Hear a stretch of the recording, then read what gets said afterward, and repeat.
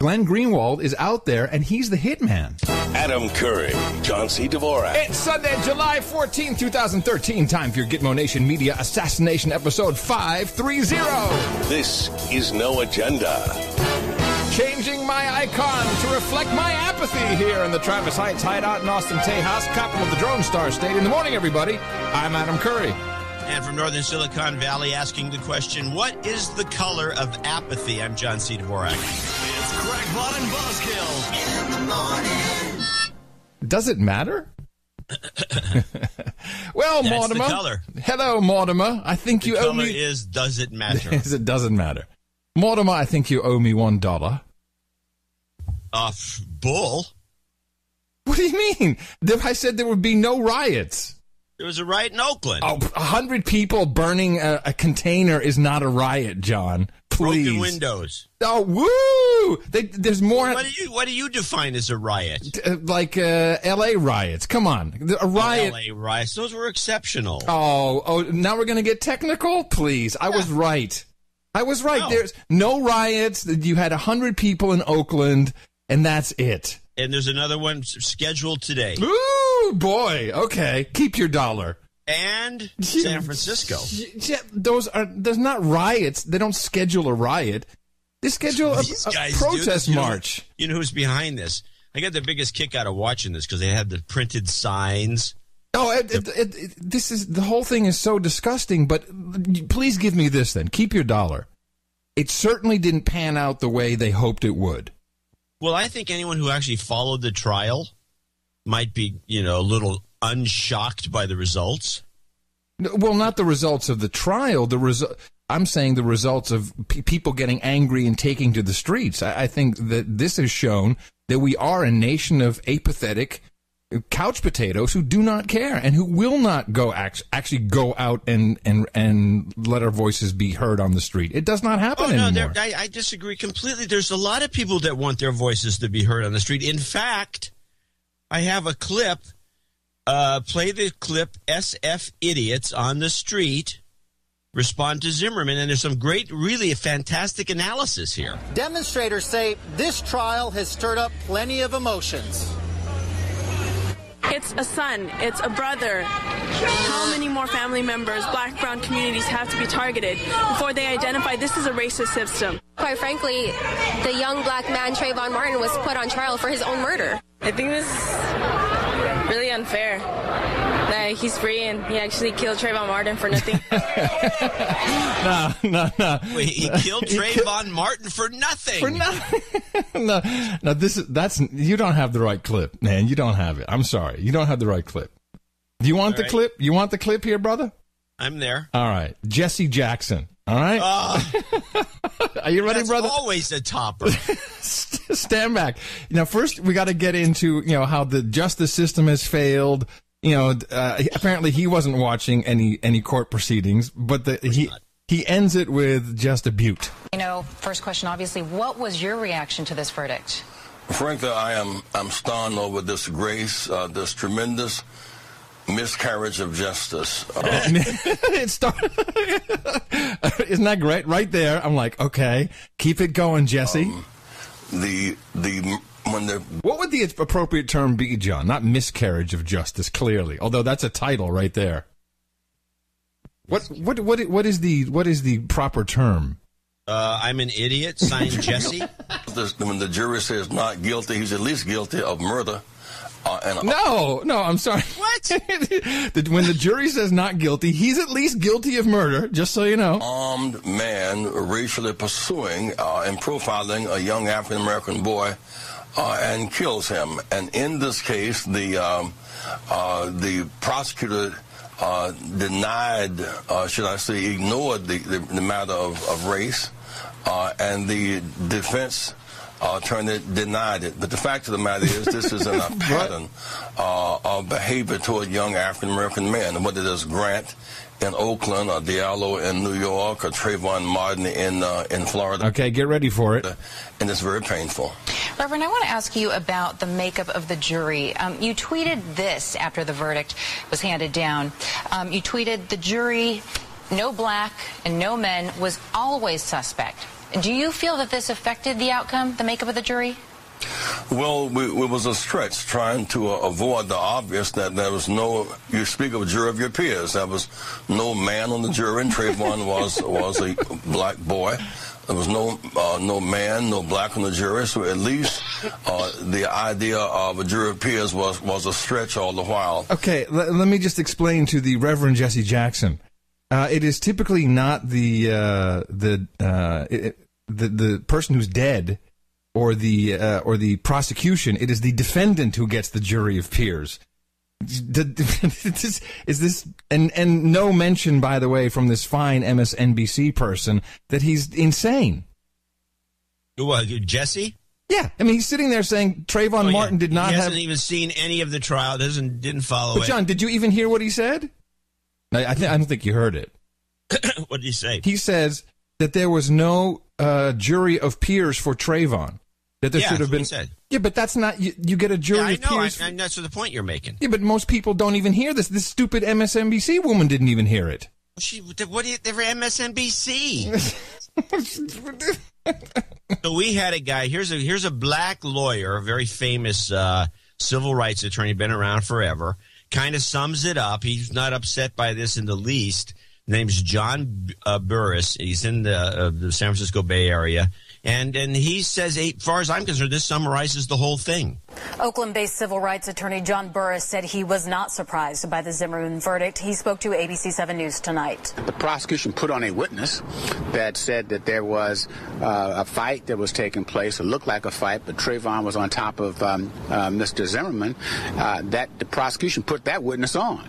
That witness turned out to be a better witness for the defense, and in my own view, ultimately uh, was the linchpin of the defense's case. Right. And Yeah. this only leads me to believe. Uh, that the whole thing was rigged and the prosecution was out to lunch. Yeah, Yeah. yeah. Uh, and I, I stand. And did, you hear the, the latest thing that at the very end they started doing all kinds of crazy things like they they wanted to add some some charges including child abuse. Yeah, yeah, that was good. Oh, that was excellent. So, a couple things uh, uh, about this, um, and I, I really wholeheartedly uh, disagree. I really, bel well, I, I disagree that, that we have seen riots. I, I mean, yeah, there's, you know, there's people protesting and marching, and last night, you know, some people burned some stuff. But you know, that more happens when the when an LA basket when the basketball team wins. Ah, There's- there's, that's the point you should have made to begin with. well, I, I, that. that's all right, but but so just that and that isn't even classified as a riot. It's just like people celebrating, celebratory actions. like turning over cop cars Yeah. and torching them.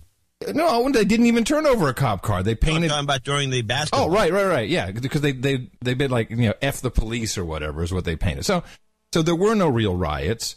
This is, uh, in my mind, actually a very very sad day for the United States because we cannot even get um, the population uh, of of the United States of, of Gitmo Nation who actually have a real reason to riot because they're living in squalor and poverty and racial profiling and all kinds of bull crap that happens in the in the lower cra- lower class sections of our society that we sh- don't really talk about, don't really see, certainly don't talk about all the real violence that goes on there on a daily basis. Uh, and and no one really, even they can't bring themselves to get up and get angry about it. So It's that's the middle it. class that riots This- does all the damage. Well- the lower classes have never risen up. Can I can I mention something here before you get carried away with all this uh, pontificating? Uh, I this to me was always a local story. The fact that anybody's even lighting a can of trash, and I do owe you a dollar in Oakland, is is ludicrous to me. What's not a local? Oakland's got nothing to do with what's going on in, locally in Florida. No. That we should even care. This thing was blown out of proportion by Al Sharpton. And Jesse Jackson, he helped out. Yeah. He helped out. Um, I, I did get one clip that I was kind of happy about last night that, that, that I thought was a real, this was a local story, a local news report um, in Florida about what, uh, what the response was to the uh, verdict. Tallahassee resident Caleb Ross is on his way to a voting rights rally at the Florida Capitol, but he's chosen a different way to rally for Trayvon Martin. He's changed his profile picture on the social website Instagram to all black. I feel like it's a good cause. I feel like it's very innovative for, for the youth to do that, and I see a lot of my collegiate peers doing the same thing all around the nation. Black squares are popping up all over Facebook, Twitter, and Instagram. Trayvon supporters who are changing their profile pics to black are calling it a blackout. It's a good way to rally for Trayvon. Some online posts and comments argue that using social media in this case is pointless, and the blackout Really? has no bearing on the trial. Wendell McGahee is on the fence about whether to change his picture. I don't think it makes a big difference. I mean, we wore in hoodies, we walked around with Skittle wrappers and so, soda cans.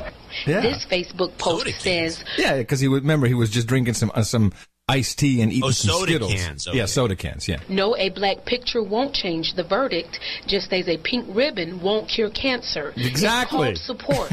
you never know what impact it could possibly have. But This is and I, and I have to say I think that's kind of where it started. This really the, the pre social networking we had uh, the the red AIDS vib, uh, the red AIDS ribbon. And that was ki- I think that must have been the start, John. Don't you think we had the red No, AIDS no, I ribbon? think the yellow ribbon around the old oak tree is where it started during. Uh, so Tony Orlando is to blame for all this. I honestly believe that's true. um, the Bill Moyers because that because the ribbon that was the first ribbon. It was for MIA or something like that. And it was a yellow ribbon. Yeah, well, it's when you come home, tie a yellow ribbon and then around and the then the little uh, AIDS ribbon became a, a like a like a uh, iconic ribbon, and then it was stuck on Yeah. the on the. And I think that I still I would trace it back to Tony Orlando. There, there was a point in when I was still in mainstream douchebaggery and a, a minor celebrity on the scale that you could not go really to any public function, certainly not an award show, but you kind of couldn't go to anything if you didn't have a red ribbon. In fact, there would be people at the door like, oh, oh, Adam, hi, yeah, welcome. Uh, here, we've got your ribbon. Is right? Is this true? It's absolutely true. So you got called out for not having a bunch of decoration?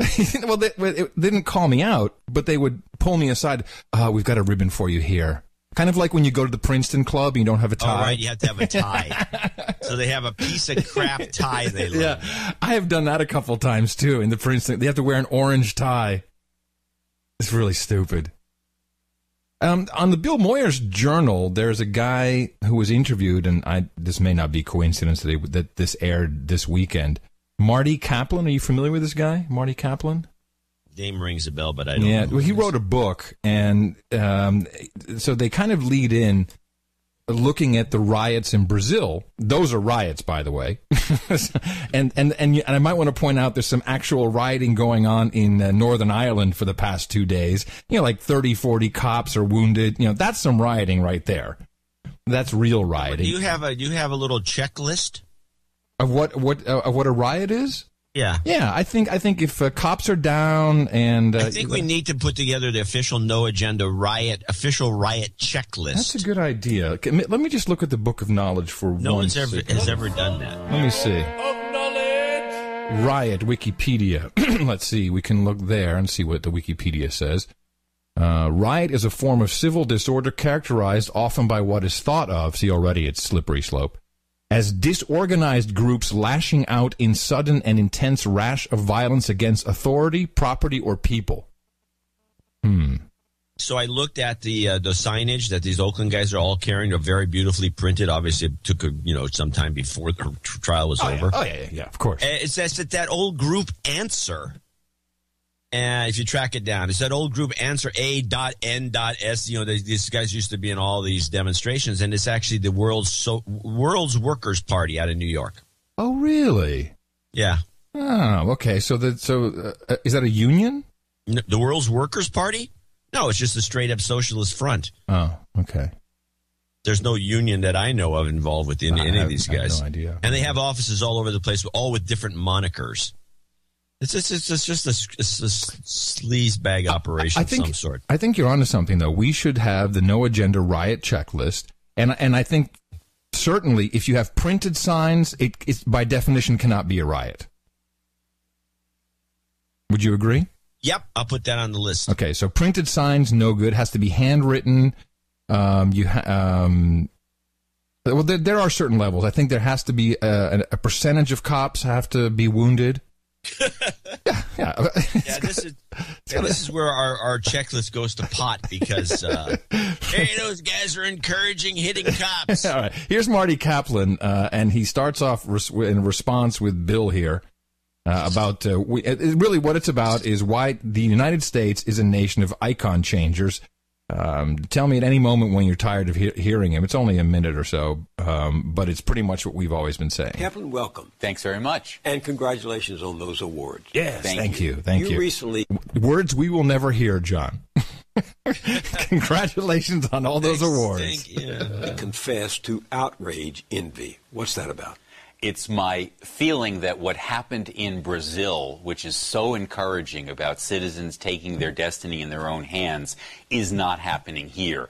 We Wait, have, hold on a uh, second. unem- Is this Liberace talking? Yeah, exactly.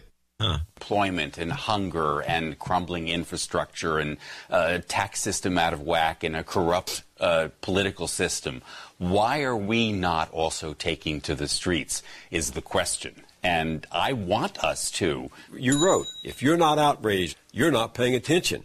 So are we not paying attention? we are paying attention to the wrong things. We are paying attention to infotainment, which is being spoon fed to us.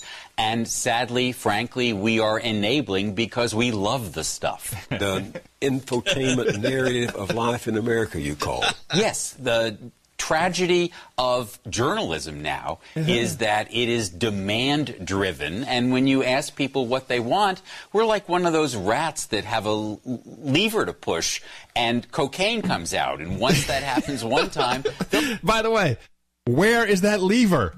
It's coming. I'm, I'll sign up. Can I come as coming. a, It's can, on vending machine? can it just can it, can it be a part of my Google Glass where I just uh, press it and Oh, cocaine that comes sounds out? like that sounds like the next uh, yeah an add-on. yeah, Google Glass. You just like tilt your eyes up like that, and the coke comes out while you're watching uh, Honey Boo Boo.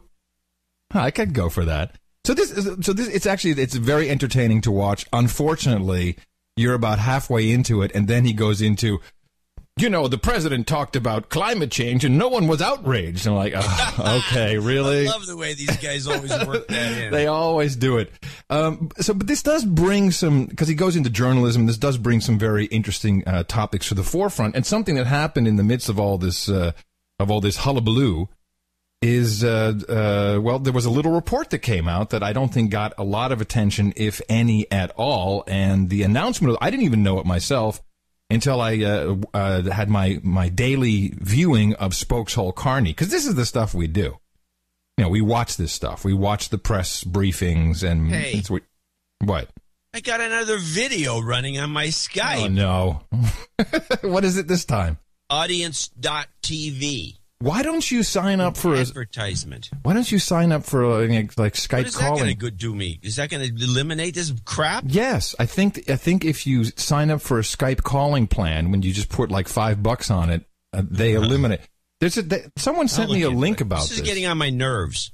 Well, hello, you took the free shiny trinket. You've got to take the. all right, the all right, pain. go on. Cut. You so you've been watching Carney? Yeah, here he which is. a thrill. Yeah. President's session today with the Attorney General, and has he accepted uh, Eric Holder's report on uh, media relations and, and investigations? The president did meet with the attorney general uh, today in the Oval. By the way, how does that sound? Uh, he met with him in the Oval. In the Oval. In the Oval. When did that show up as a way to say it? First time I've heard it in the He's Oval. in the Oval, man. He's in the Oval. In the sounds like something that the cage match, you know, wrestlers would have. It sounds They're going like- to be in the Oval tonight. It sounds like so- Oakland Coliseum, 9 p.m. Eric Holder, Barack Obama in the Oval tonight. I need a little. Eric Holder, Barack Obama in the Oval tonight. Yeah, that'll work. T- I immediately thought it's more like anal thing. I don't know. I was like, yeah, he was in the Oval. Like, ooh, okay. What do you think? Yeah, that's what I think. Uh, here's uh, the rest. And uh, the attorney general did uh, discuss with him and present to him uh, that report. I believe the Department of Justice will be releasing that report this afternoon, but I refer you to them. So if they're releasing it that this afternoon, that indicates that the president did accept it as it was presented? Yeah, I think that's a fair assessment to make. We won't have any statement or comment on it before it's released, but I believe the Department of Justice is releasing it today. Okay. Did you uh, hear anything about this uh, report, John? No, I don't know. I, I don't know what he's talking about, and I don't know what you're talking about. That's how obscure it is. Okay. First, let me uh, tell you that uh, there is uh, uh, um, this Skype commercials is new, uh, and I'll put a link in the show notes. Thank you very much, chat room. um, that shows how you're going to now be inundated with loud ads. In fact, they are called loud Skype ads. Okay. Uh, the report that uh, came out uh, was the self induced report about the spying on the media uh, that the Attorney General promised he would investigate himself. You'll recall this. Vaguely. okay. Uh, anyway, it's a very important report. It was discussed in the Oval, as you just heard. It is uh, the Department of Justice report on review of news media policies. In other words, how we deal with the news media when it comes to investigating them. Uh, I think we do need to, uh, before we go any further, we need to, uh, one more time. I should have this plastered on the wall. In fact, I need to get one of those uh, Eric things. One more time, I'd like to just uh, recite the very short line that is the First Amendment of the United States Constitution. is very important in this case, just so you uh, understand. Congress shall make no law, no law, I repeat, no law, respecting an establishment of religion or prohibiting the free exercise thereof or abridging the freedom of speech or of the press. Uh, so I will uh, abbreviate Congress shall make no law respecting an establishment of religion or no law abridging the freedom of speech or of the press. No law. And now let's take a look at Eric Holder's document, which was discussed in the Oval. As you just heard, the president approves it. In May 2013, at the President's direction, the Attorney General initiated a comprehensive evaluation of the Department of Justice's policies and practices, practices governing the use of law enforcement tools, including subpoenas, court orders, and search warrants to obtain information or records from or concerning members of the news media. I think this is important, John, because guess what? We're probably not members of the news media. In criminal, Speak for yourself. In criminal and civil investigations. As part of this process, the Attorney General convened a series of meetings to solicit input from a wide range of news media stakeholders. Were you invited? Not a stakeholder. First Amendment academics. Also, I was holding a pork chop at the time. and advocates, as well as members of Congress. Based on this review, the Attorney General is making significant revisions to the department's policies regarding investigations that involve members of the news media. Well, that is just the preamble. Um, the department views the use of tools to seek evidence from or involving the news media as an extraordinary measure. The department's policy is to utilize such tools only as a last resort after all reasonable alternative investigative steps have been taken and when the information sought is essential to a successful investigation or prosecution. Gee, that sounds pretty much. Prosecution? Yes, that's literally what it says. Prosecution of what? Period. Of a media member? Yes. Like that poor guy from Fox? This is what it's all about. So now, they just want to go after the media. Oh, well, that's good. No, no, the media no, no, really no, no, no, responded well to this. No, no. This has a this has a very specific uh, goal in mind, which is coming up in seconds. The changes in policy outlined in this report are intended to further ensure the department strikes the appropriate balance between two vital interests. Hmm protecting the American people by pursuing those who violate their oaths through unlawful disclosures of information. Uh. Let me just read that again. One of the vital interests is protecting the American people by pursuing those who violate their oaths through unlawful disclosures of information. Wow. And safeguarding the essential role of a free press in fostering government accountability and an open society. right? Uh, in addition, I'm skipping through. Seems self-contradictory. Oh yeah, I'm skipping through the uh, through the report here. Uh, here we go. In addition, as the President and Attorney General have long stated, the administration will continue support efforts within Congress to pass a media shield law, which would codify or codify, whichever you prefer. Codifies. Codify many of the principles that inform the policy guidance described in this report. So the way I read that is what we're really going for here and what this has always been about and what I believe the whole even the snow job is about is to instate a law which would be unconstitutional by definition a media shield law and this is the blueprint for that John because of course it was discussed in the oval and everyone's all in on it so here, the president and the attorney general, uh, general restate in this document that Congress needs to pass a media shield law which would codify all of the principles uh, described in this report. So I'll just highlight a few.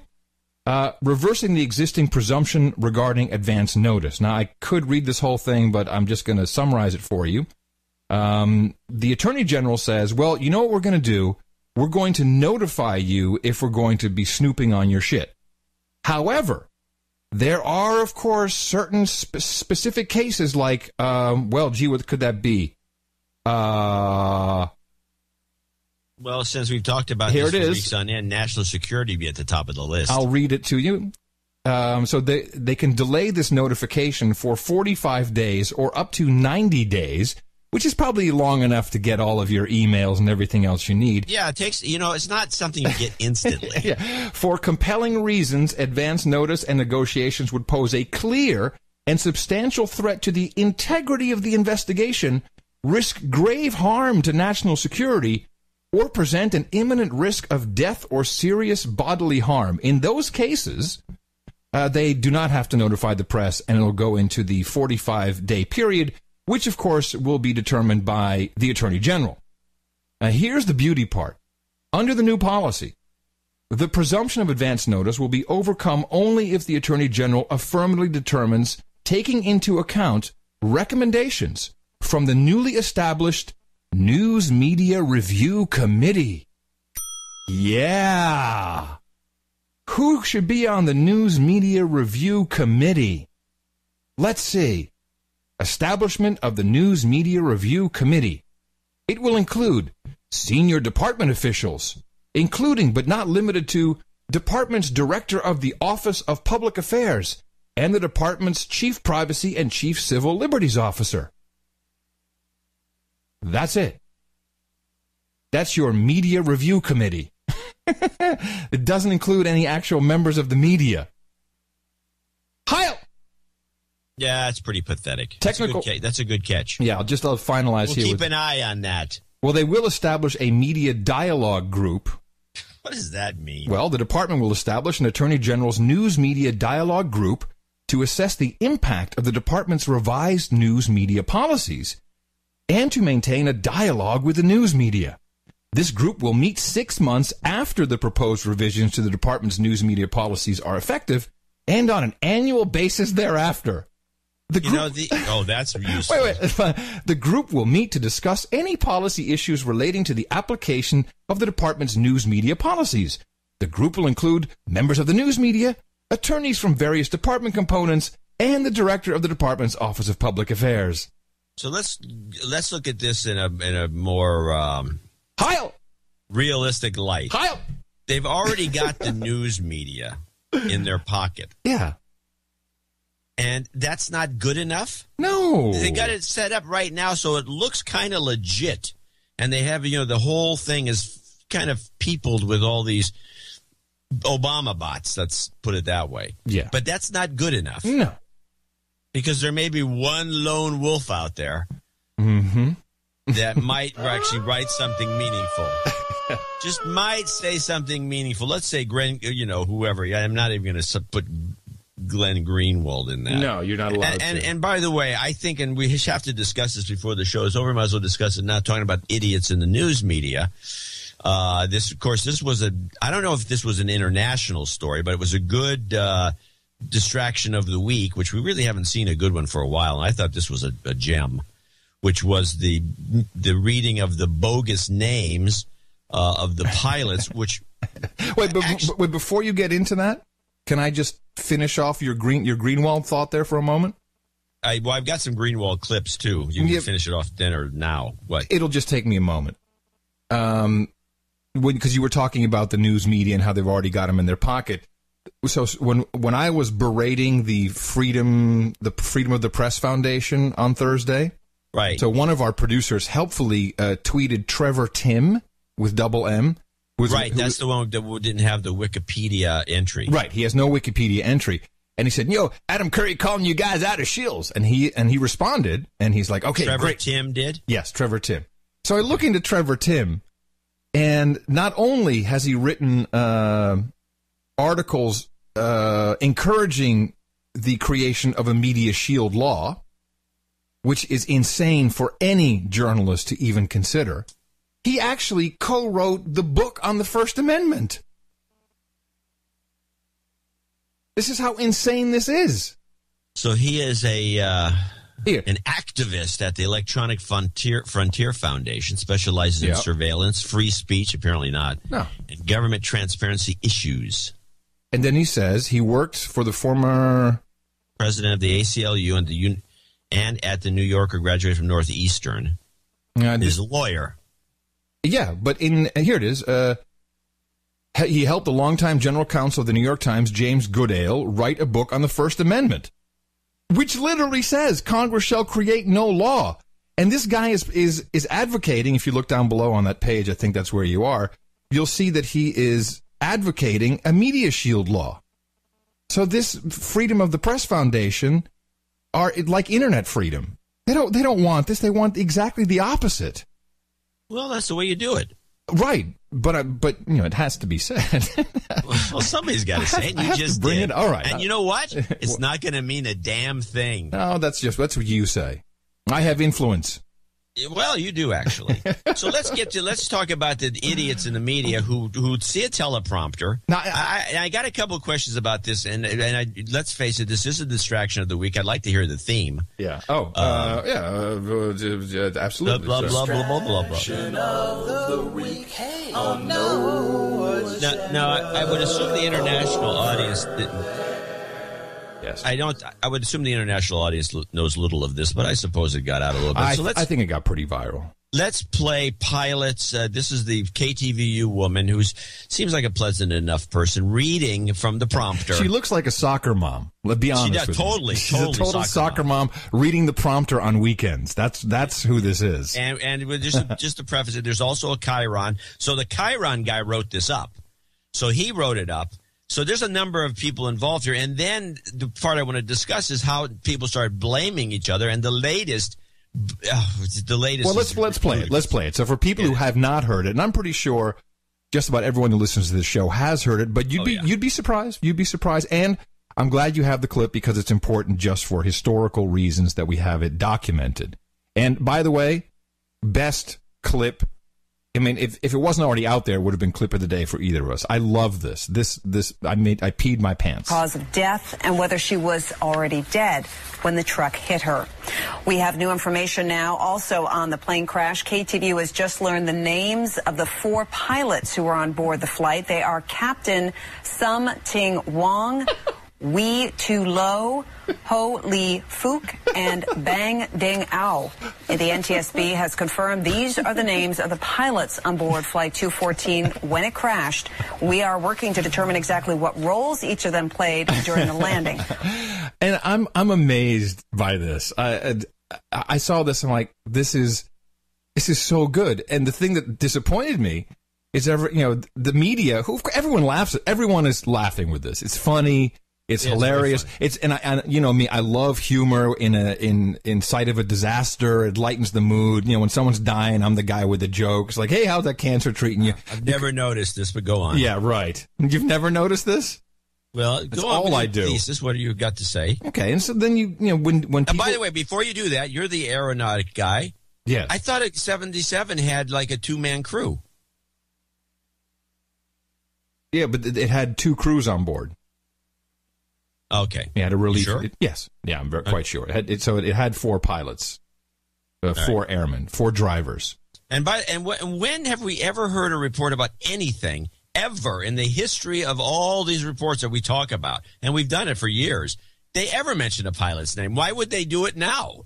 I you know I don't know. The NTSB is taking the blame for it. They're saying No, no, no. That's yes. changed. No, No. no, When did this change? This changed like just recently. There's a blog post on the SF Gate where apparently here's the way the story goes. First, they was like, oh God, what happened? It was our screw up. And they said, because the NTSB doesn't give out names. And so then they found an intern, which is just to me is the funniest part of the story. Some guy, unpaid intern. And by the way, if I was an intern and I could pull this off, I'd do it.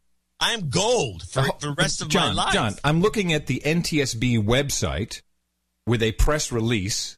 Right, I know that. I'm telling you. If you let me finish, that's that's what's out there officially. But now it turns out there's another round of this, And the NTSB is now denying it. It has not been put on their website yet, but it's been discussed in the SF Gate in a, in a Phil Matera blog post saying that no, we did. It's turning into a cover up thing. You watch how this devolves and people start pointing the finger at each other. I, I think it makes more sense that some joker so you know here's the way it would go but it still doesn't there's some aspects that still don't make sense because nobody cares about the pilot so somebody calls the ntsb they and they're at lunch because we're at west coast time who knows some get the intern picks up the phone hey bill pick up the phone picks up the phone yeah hello bill meeker yeah do you guys have the name of the pilot you can give us uh no let me get back to you i'll call you back give me your number and they hang up this is my scenario and then the guy gets together with his buddies and they dream up because you can't ad lib these names that quickly. No, no, no. This is well done. This is well done. This is like Bendover and uh, yeah, Mike Hunt. Yeah, Seymour Butts. Yeah, exactly. So they guys get together, a, a group of these jokers that are pay, getting paid nothing, and they got nothing better to do. And so I'm going to call. She's like, yeah, call him back. Call, call, call, call him back. Call him back. Call him back. You think I should? I, I'm going to get in trouble. Just do it. And so they call him back and they give him these bogus names that they eat up, which is really the disturbing part about this, no matter who's at fault. The fact that someone would pick this, this uh, call up, uh, write these names down, give it to the Chiron guy, give it to the writer doing the prompter material, and have the person read this straight faced is amazing. Yeah. But th- that said, at KTVU, I will tell that we had a guy at uh, uh, Ziff Davis or the TechTV, uh, Steve Porter, who worked at KTVU, and he says that Dennis Richmond, who was the longtime anchor at KTVU, once blew his stack because on the prompter there was a line left out at the end of one of the newscasts, and, and Richmond apparently just went nuts because they, they didn't have this line to read. And the line was, Good night, I'm Dennis Richmond.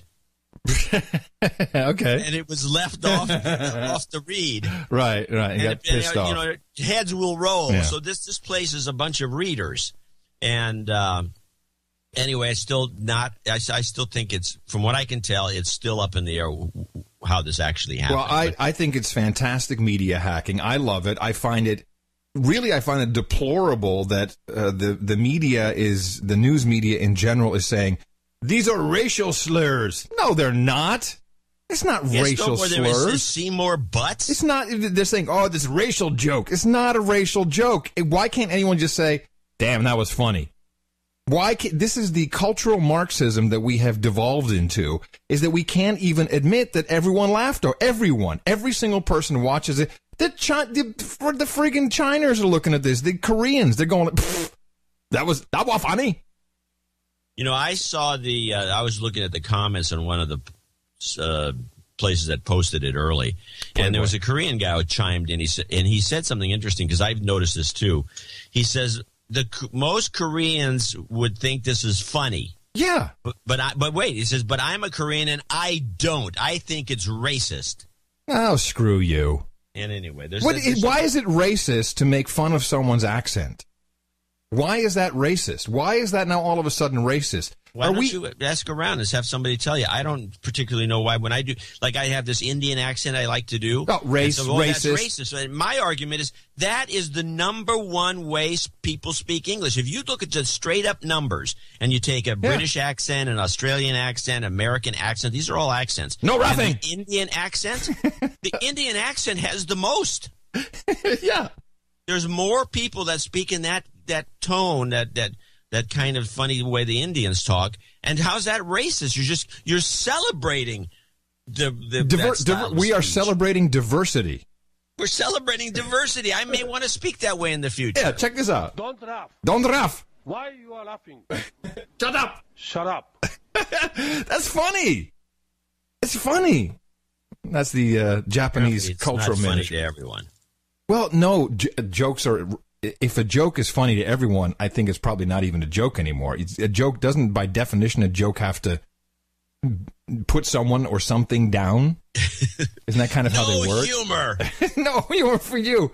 So I'm I'm I'm dismayed by that. I really am. I'm dismayed that we can't have you know funny humor. Certainly in Are you just dismayed, or are you shocked and dismayed? no, I'm just difference. No, I'm not shocked and dismayed. I'm just a little dismayed. Yeah, just a little dismayed. Not not, not too much. I can much. see you being dismayed over Just this. just a, a tiny. However, if the idea was to get more airtime for NTSB chairwoman Deborah Hersman, I'm all for it. I, I love this woman. Is she She's hot very- or by what? the way, she is more telegenic than she is photogenic. oh my god, she yeah, true. I looked her true. up. And No, I agree. as- But then I saw her on TV. Oh yeah, she's pretty nice looking. No, she uh, she needs lighting and makeup for for a still photography, but on television she's dynamite. You look at her and you just like, yeah, I, man, I crashed Whatever that you plane. say goes. I crashed the plane. It's my fault. Well, just blame me as long as I can hang out with you more. She's I a think, fox. By the way, I want to play one more clip because I think the, the the clip that should have gotten more play is the clip is the which was on the tarmac. Somebody on their cell phone, I guess that were in the wreck or whatever. But this, but this got no play at all. Uh, and it's the no ambulances clip. Play this. Trying to help people who had been ejected from the plane during the crash. 911 emergency, what are you reporting? We just got in a plane crash, and there are a bunch of people who still need help, and there's not enough medics out here that need help. There is a woman out here on the street, on the on the runway, who is pretty much burned very severely on the head, and we don't know what to do. No ambulance is on site since this plane crash. Lots of fire engines in the distance. Not one ambulance out here on the tarmac. Okay, ma'am. Stand on line. Let me transfer you over to uh, San Francisco Medical. Okay, yeah, hold on. I, I heard this. Um, although, And, uh, by the way, they did bring an ambulance and it ran over the woman. yeah, what's what are you complaining about? Oops, sorry. I don't think that was that woman. I think they ran over a different woman. Well, they ran over somebody. Well, but, what are you what are you saying? Like, there's not enough ambulances? Of course, there's not enough ambulances. You can't. You If you're gonna have a, but you'd think you'd think an airport if it has all these fire trucks. No. you know, First of all- that- you'd think that if they, yeah, I know where are you going to get the. I mean, there's be mostly guys sitting around because there's a, the plane accidents happen what once every few years at any one airport. fire departments, uh, you know, if you call the ambulance in most places, the fire department's going to show up. It's not the hospital. Because your true 911, your true, the true heroes who really come for no money and just come to help you, that's the fire department. A- And they've got, like our buddy Bad, Bad Chad out there in Colorado. The- These are the guys who are doing the real, the real work. If you want the ambulance, yeah, well, you better have your credit card ready. What, the hospital's going to d- dispatch an ambulance? No. No, it's It's a all couple it's, grand, It's too. EMS. It's it's emergency medical services, but it's really fire fire yeah, department. it costs you a couple grand. Yeah, but so the uh, every airport has fire services, but their their pri- you know th their primary job is to take care of an emergency. But you can't have you, know, you just can't have like a hundred ambulances running around. And who was this woman, by the way? That was ever unclear to me. Is she sitting in a plane calling nine one one? I mean, wh- where was she? And she's talked about the street or the I think she the probably was one of the people that slid out of the thing, and she had her phone on her. I don't and know. she called nine one one. You know, but It could be bull crap. The whole thing could be a Could be. It could be. But for me, it's like if I see one someone with their head on fire, you know, and I'm going, hey man, this is an outrage. I'm here in the plane crash, and uh, I need more ambulances. Where are my services? I need my services from my, my government is not servicing me. You know, I'd be like, I'd be running over this lady, see what I can do. well, I'm sure that she maybe did that. We don't know. No, we don't. But my, but what, what can we point is- conclude from this whole episode of stupidity? I hope you have a, uh, some conclusion because I don't. Other than it's just stupidity, and and and I thought it was hilarious. I thought it was hilarious too. In fact, the first time I saw it, but what the the thing that still gets me is that it went through so many channels. This is the problem. I this is my conclusion is that we've become so kind of you know we're not we're so disconnected, especially the broadcast media and the newspaper people for that matter, so disconnected that we can't report. We can't just you know actually see reality. I mean, if you this this was the most obvious joke. You know, let's play the clip one more time and, and tell me if you could actually, eh, with a straight face, read this copy. No, I can't play this again. Come on. Really? Yeah, don't you think it's funny enough to play again? One more time then. cause of death and whether she was already dead when the truck hit her. We have new information now also on the plane crash. KTVU has just learned the names of the four pilots who were on board the flight. They are Captain Sum Ting Wong, Wee Tu Lo, Ho Lee Fook and Bang Ding Ao. I mean, come on.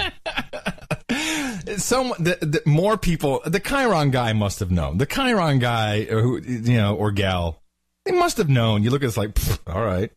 Whatever. They told me to write it on here. I'll do it. Uh, I mean, if I was the news reader, I would be so steamed. no rapping. No, she is. She no, she's happy. She has the part-time gig on the weekends because you know she's shuttling around soccer boys all day. I, you know, it's just exactly what she looks like. I've seen her uh, every so often. And I She think she's all she's only on the weekends. I'm pretty Yeah. sure. I'm pretty sure. So, Adam, Yes. big news today. Before we get to our producer segment, we got to mention this. Uh, okay. Uh, in the United States, July 14th, which I believe is today, Yes. Has been branded National Macaroni and Cheese Day. No. According Get to the out. Wikipedia, What? No. go to uh, if, if I had macaroni and cheese. oh, this is no good. If I had known this, then I would have put together a whole celebratory clip. You slaves can get used to mac and cheese, mac and cheese, mac and cheese, macaroni and cheap cheddar melted together. Mac and cheese, mac and cheese, mac and The mac and cheese life. Mac and cheese by Ayn Rand. Wow, what a day! Now this was documented supposedly. We could have done a whole I, special. I really wonder whether if somebody slipped this into the Wikipedia just for our benefit. And by the way, Dvorak's law not allowed in the Wikipedia. Mac and cheese day, no problem. Rock on, boys. Yeah, nothing wrong with that. Supposedly, the Wisconsin Cheese Talk page is referenced about uh, about this, but I see no nothing on and how this page. how are the French with this? I mean, the the French, of course, celebrate uh, this the uh, Bastille Day today. Hello, French listeners who never donate. Yeah, then they never listen. That's okay. And now they're out. They're done. They gave up. They're, they're, they won't be back until what August, uh, yeah, yeah, September. 1st. they're on vacation. Yeah, they take a nice ninety day vac or what? Yeah, forty five day vacation. It's not bad. Okay, so what's the history? What's the history on this mac and cheese day? National. It's the Wisconsin. Okay, WisconsinCheeseTalk.com. Let me I'm not see. it. What Wisconsin? Hmm. Cheese industry? Anybody? Here it is. Blatant PR move. Here it is. National Macaroni and Cheese Day. is a little link in the on the tags. And it says nothing. This is bull. I'm just, but I thought it was worth mentioning. It's sad, is what it is. it's Jeez. yes. Uh, in the morning, John C. Dvorak. In the morning to you, Adam Curry. In the morning to all the ships at sea, boots on the ground, feet in the air, subs in the water, and all the dames and knights out there.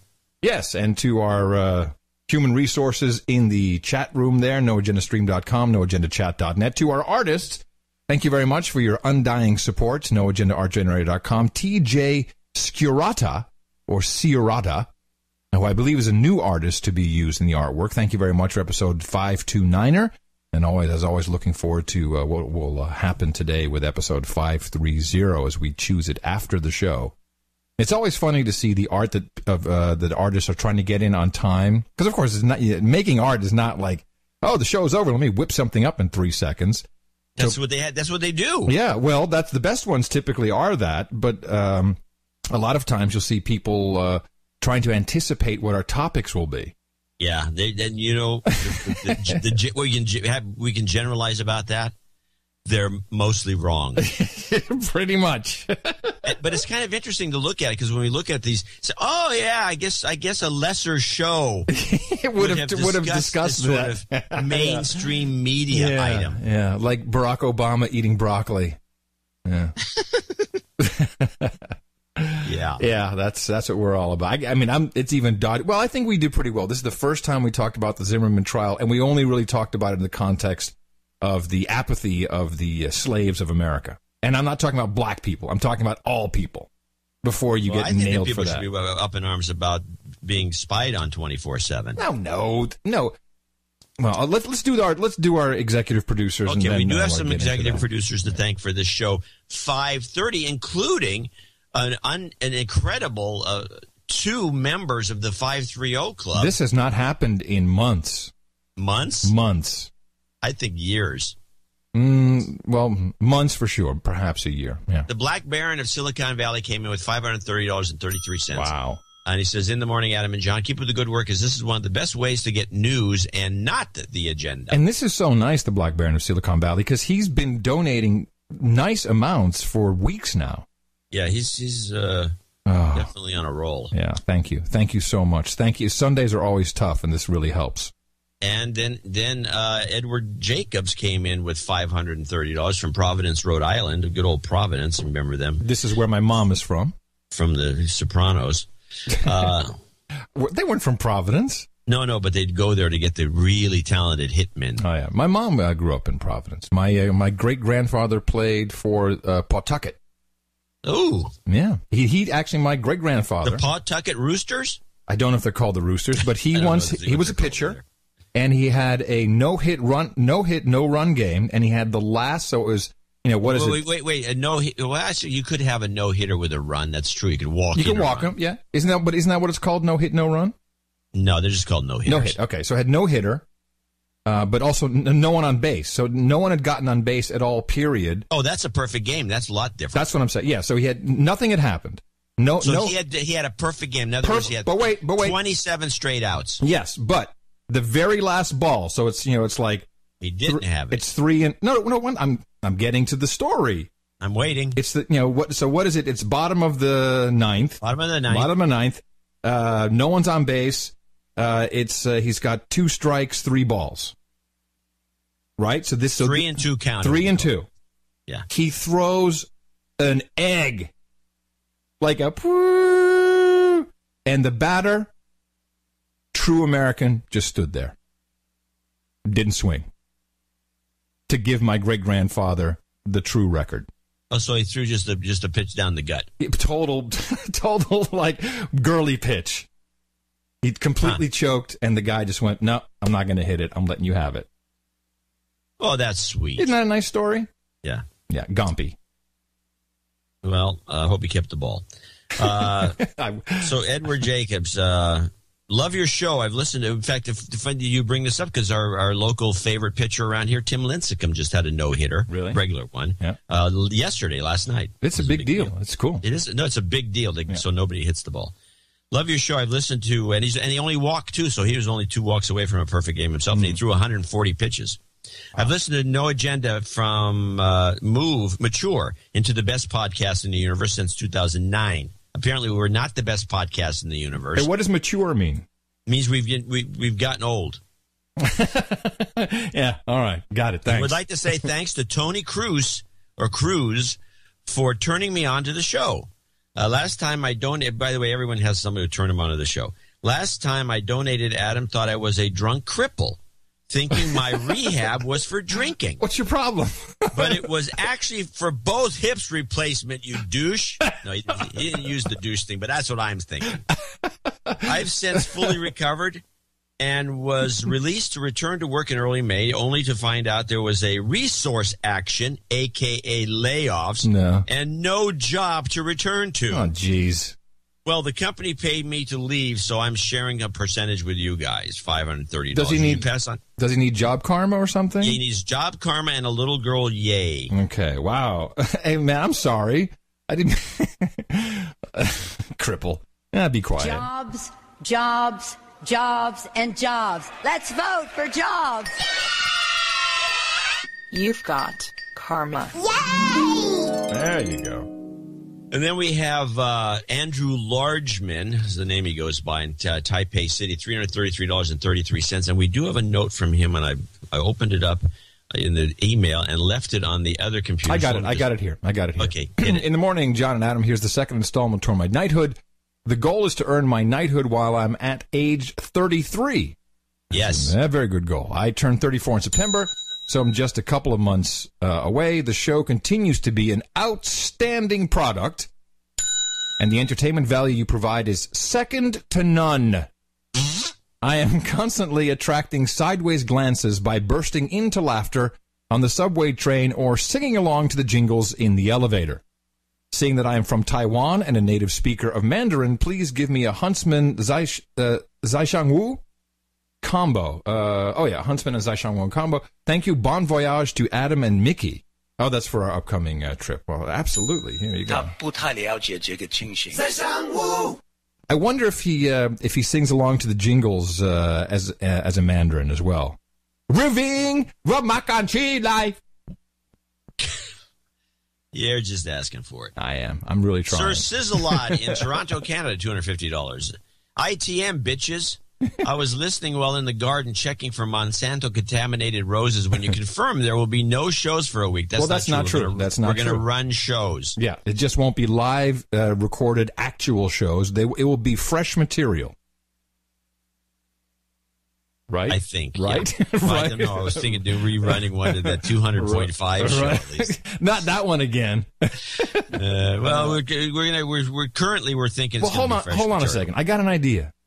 I already have some interviews in the can. Well, we have that, but you know, we also if we could ask our producers to put together a compilation that could be. I I find no no no You know how you know this is going to work, right?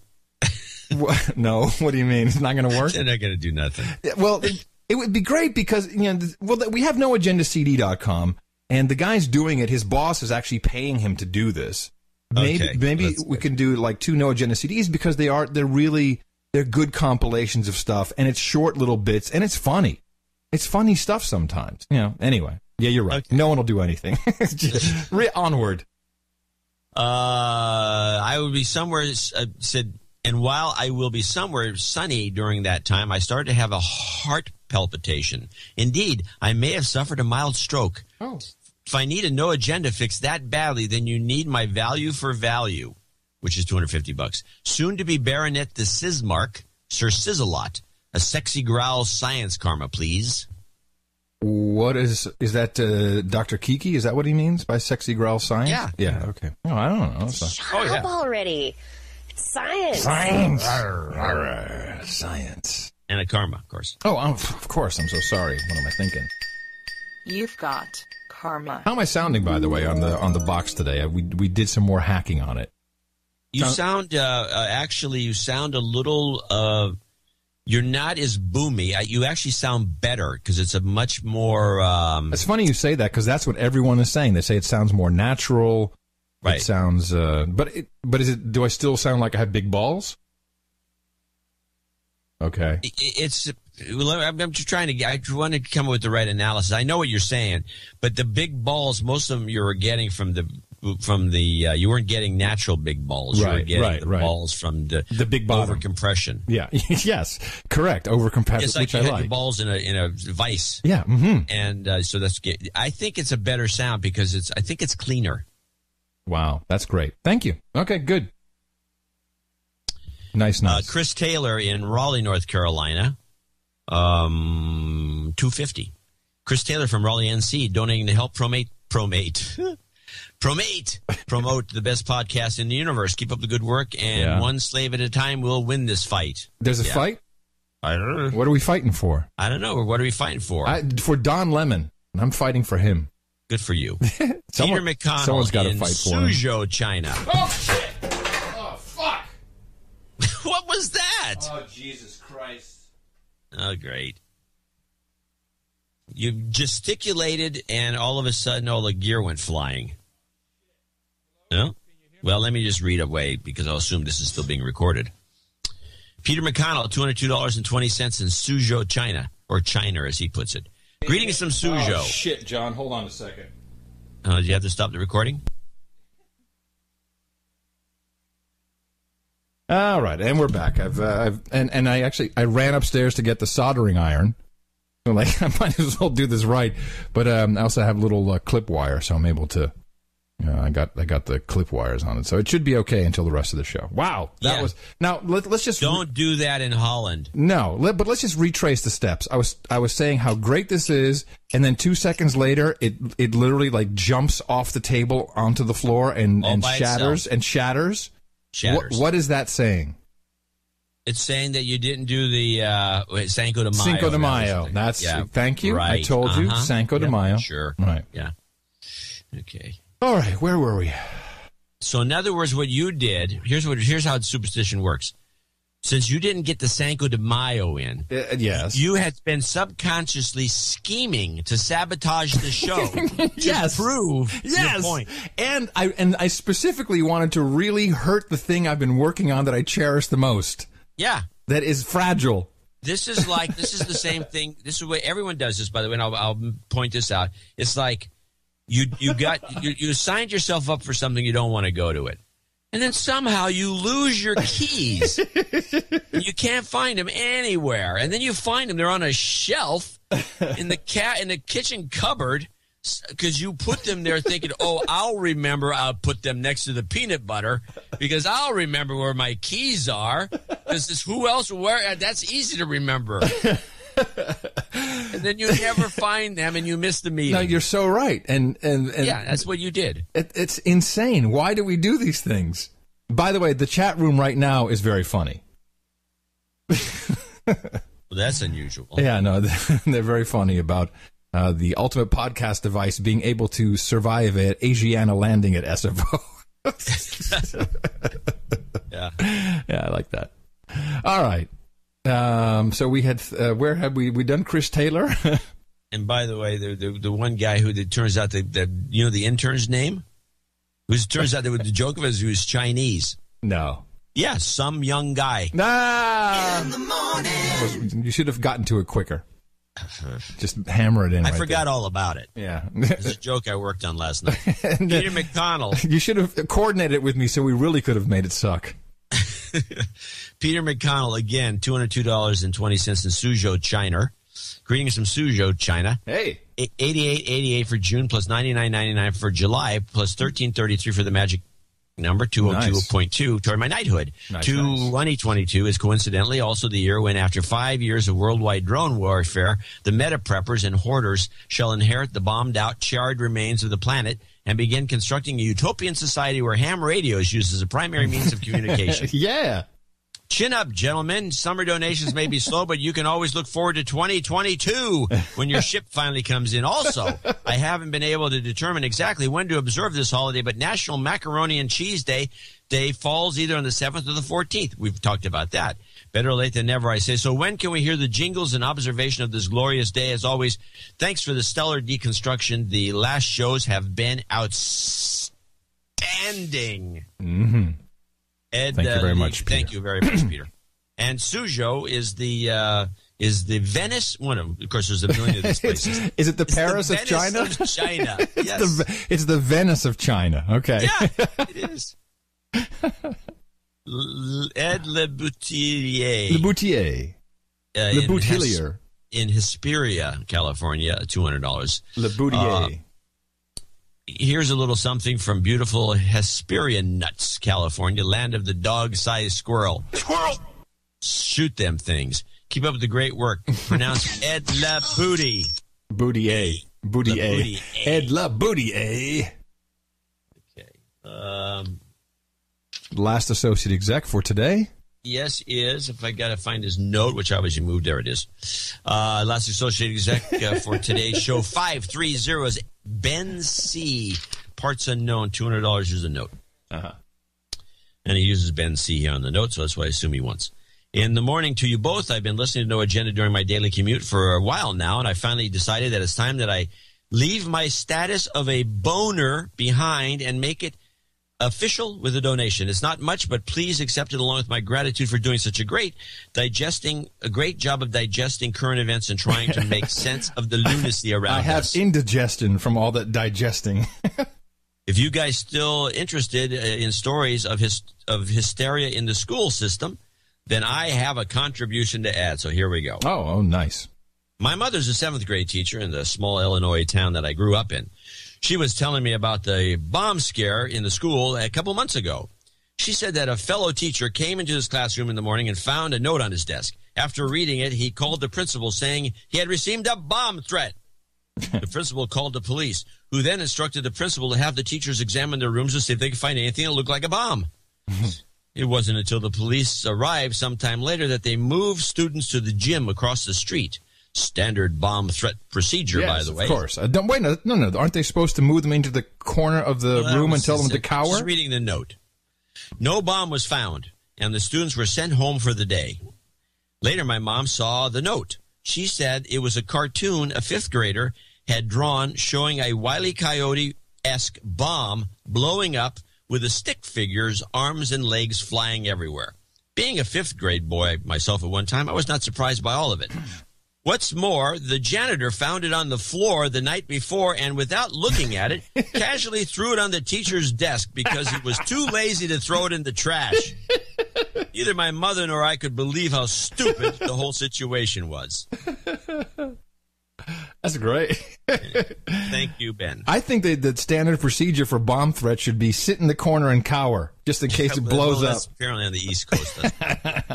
so I want to thank all these uh, executive great. producers and associate executive producers for Show 530. We really appreciate the help and go to noagendanation.com, noagendashow.com. Click on the donate button or go to dvorak.org slash NA or channeldvorak.com slash NA and those are your donation page. Dvorak.org slash NA. Thanks. I, I do have uh, two quick PR mentions I'd like to throw in here. One is from uh, our producer in uh, New Mexico, Jeffrey Tuhig.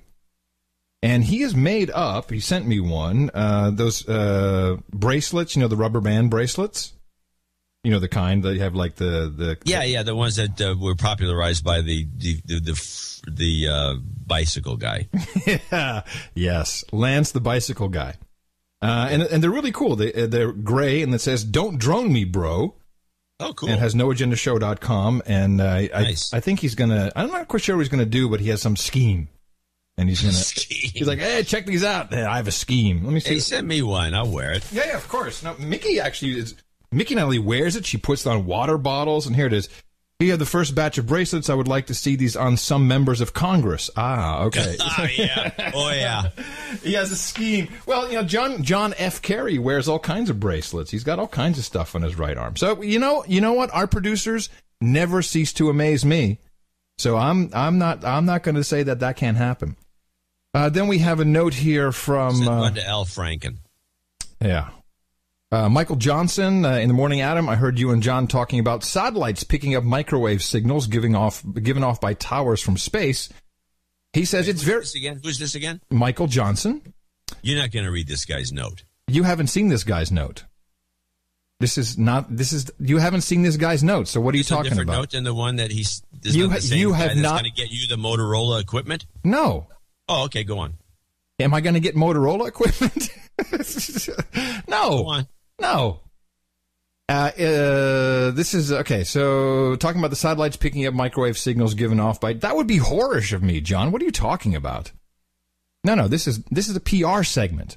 Ah. It's very doable. In fact, you as a ham can try a similar experiment communicating with your own spacecraft in space. If you back the Pocket spacecraft mission to Moon Kickstarter. so this guy, he What's has the name of it? It's the Pocket spacecraft mission to the moon. Pocket. it's great. And this he's got a he's He's got, got a starter? Kickstarter. Yeah, no, he's and he's he's raising money. I think he's gonna he's gonna he's gonna complete. So He's so not to complete. Yes, he is. Yeah, I think he is. So the idea is they have these little thin wafers, and it's going to go up in a in a commercial rocket, and the satellite shoots out, and then the wafers are going to poop out. And he says that we could actually uh, have a no agenda space saucer that we could all track then uh, on the web. Ooh, yeah, I, I think this is a good idea. I like this a lot. And so I said, this is without a doubt the most shameless plug of the day. Yeah, it's pretty shameless, but this was so he needs two hundred ninety uh, pounds. It's a lot of money. Yeah, British. yeah. So that's like uh, through lots, and he's got thirty three so far, and he's got two hundred thirty six backers. Yeah. He needs a big money guy. Yeah, he, guy he needs with- a big guy to Call like, Allen. Call Elon Musk. Elon Musk. Elon Musk would want to run it up in one of his planes, Yeah, well, that's fine. One of his rockets. Yeah, Elon Musk, you know, don't get me started on that guy.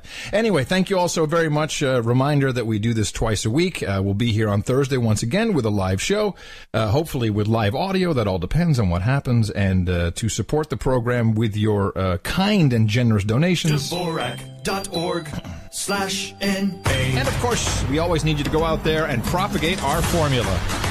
Our formula is this. We go out, we hit people in the mouth.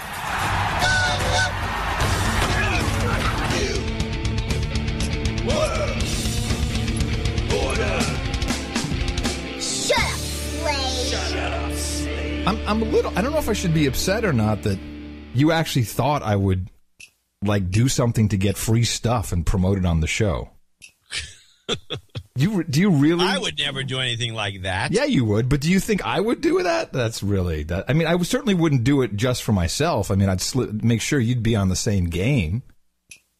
I try to get you stuff all the time. Oh. Okay, sorry. I do. Yeah. Yeah, I know. You know how you know how much free stuff I've gotten recently? No. Nothing. Zip. I'm blackballed. Maybe it's because you take the junkets for for car companies and then don't blog about it. Maybe. By the way, outstanding um, PC Magazine article. Which one? The one about you can't trust Microsoft. Oh yeah, Hilarious. Building up to do that one. Hilarious. And and you So think you think it's what do you think of the thesis? Well, there's a couple things, um, and this is based upon uh, the latest article from Glenn Greenwald, who I have no respect for. Um, you can't, you You're cannot, losing respect by the day. yeah, you cannot, you, cannot I'm publish having- this without publishing the source material. This, I mean, he could be talking out of his ass, and his, and what, and if you look at his Twitter feed, which I've kind of, is a little obsession for me now. He's like, what if you don't, if you don't trust us, you know that we have the documents, then how could you even trust what we posted? Like, what are you six? Okay, we need to talk about this then. Six, seven. No, I think he's six, and Twitter is the playground of the, of of the universe. Well, I'm not going to argue that.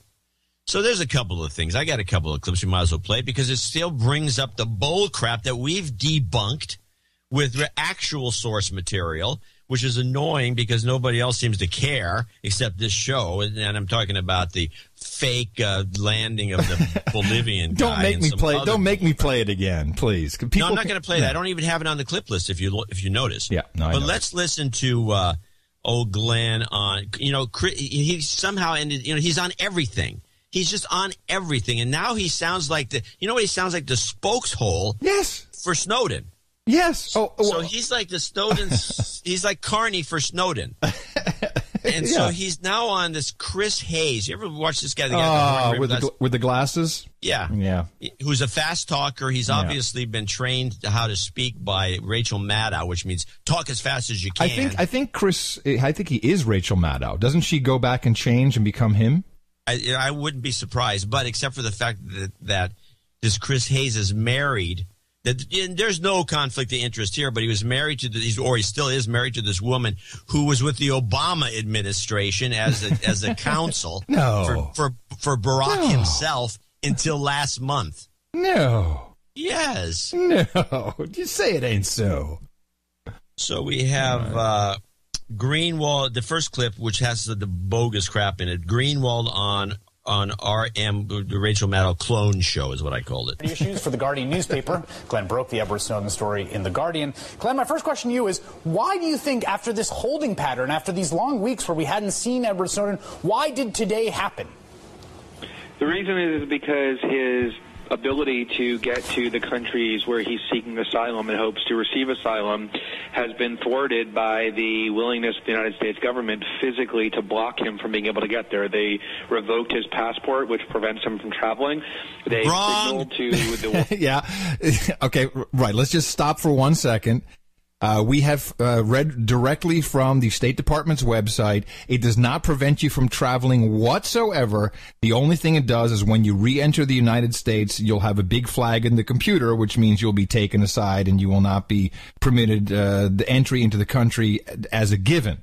That's all. You will, and you have your passport taken away. Yes, but it, it's it explicitly it says two things. Uh, explicit, implicitly, explicitly says one, no one's passport can be revoked if their whereabouts is unknown. It specifically says that. Yes. And two, it says th- it's not a problem to travel on a revoked uh, passport because not everyone is tied into the American Gestapo. So that's wrong, Glenn Greenwald. wrong. Wrong. Wrong. Hold on, Glenn. Glenn.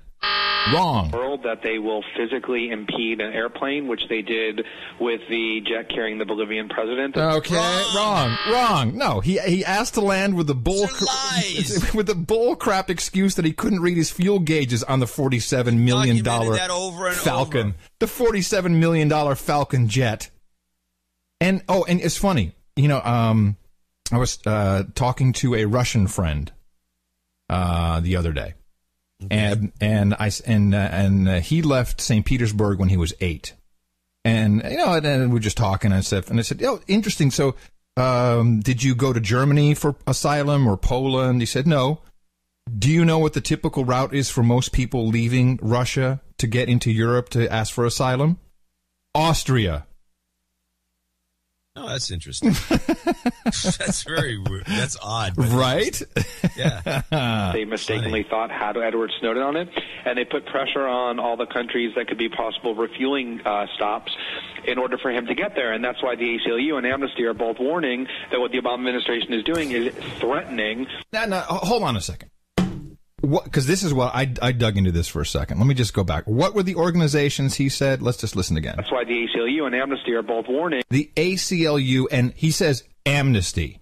Yeah, just amnesty. Just amnesty. And I want to talk about this bullcrap in a minute. That what the Obama administration is doing is threatening um, this very well recognized right uh, of asylum. There's simply no way for him to get out at the moment, and that's why he sought the help of these human rights organizations. So one concern I think a lot of people watching this have, and I, I one concern I have, will actually count myself among them as someone who is happy to know the things I know because of Edward Snowden, happy to have the information, think that information is, is crucial. If you're happy and you're Snowden, ha- clap your hands.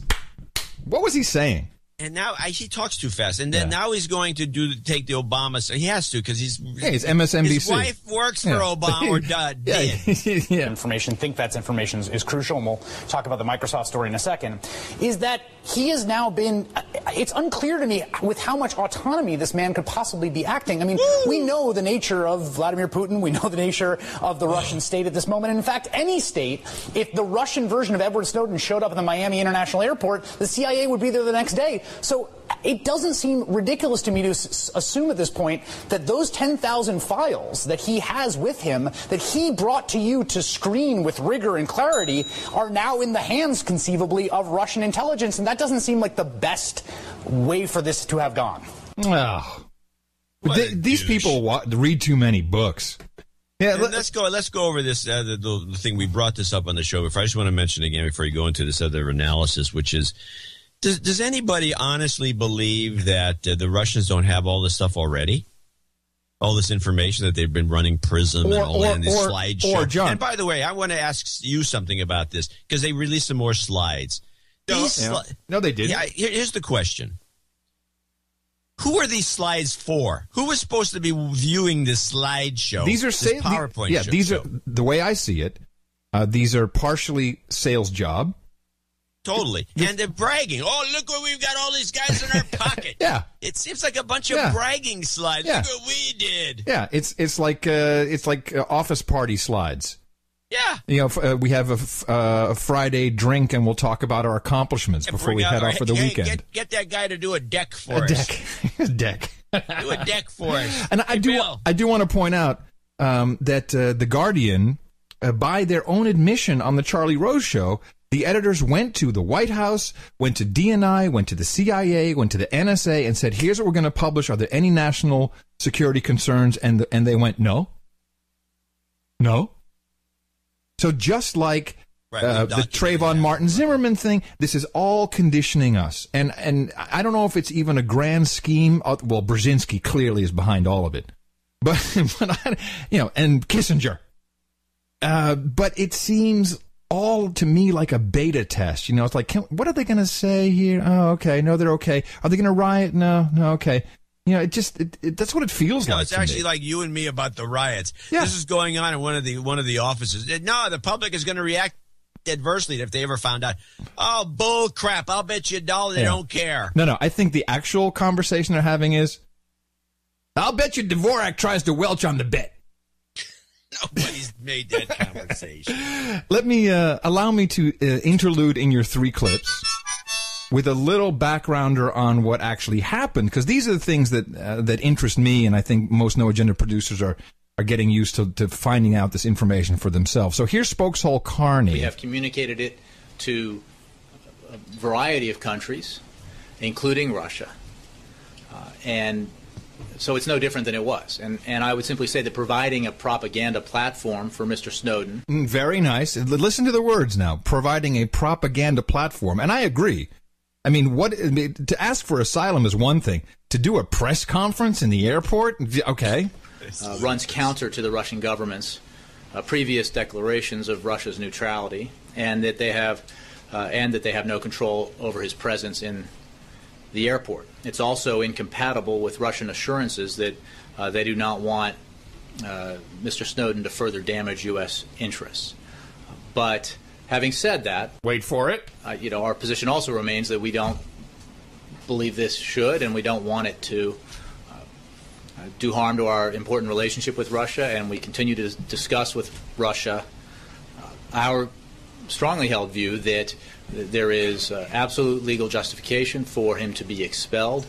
uh, Expelled. for him to be returned to the United States uh, to face the charges that have been brought against him for the unauthorized leaking of classified information. Okay, I just want you to know that there is authorized leaking and unauthorized leaking, apparently. Because that's what the spokeshole is saying right there unauthorized leaking. So we see Snowden uh, doing a press conference uh, at the Moscow. That's very airport. interesting. You caught that. Oh, yeah. I, I just wanted to see if you're awake.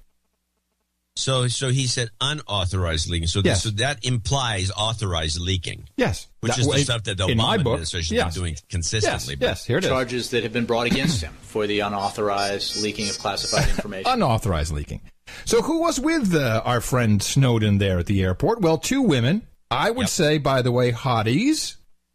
Hotties, yeah. Sarah Harrison.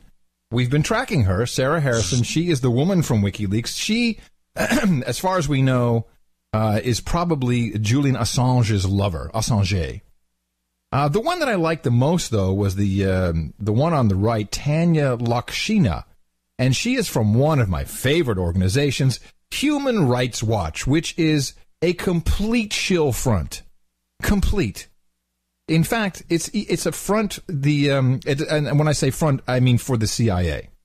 uh, it was the Human Rights Watch uh, organization that actually approved of the CIA secret renditions.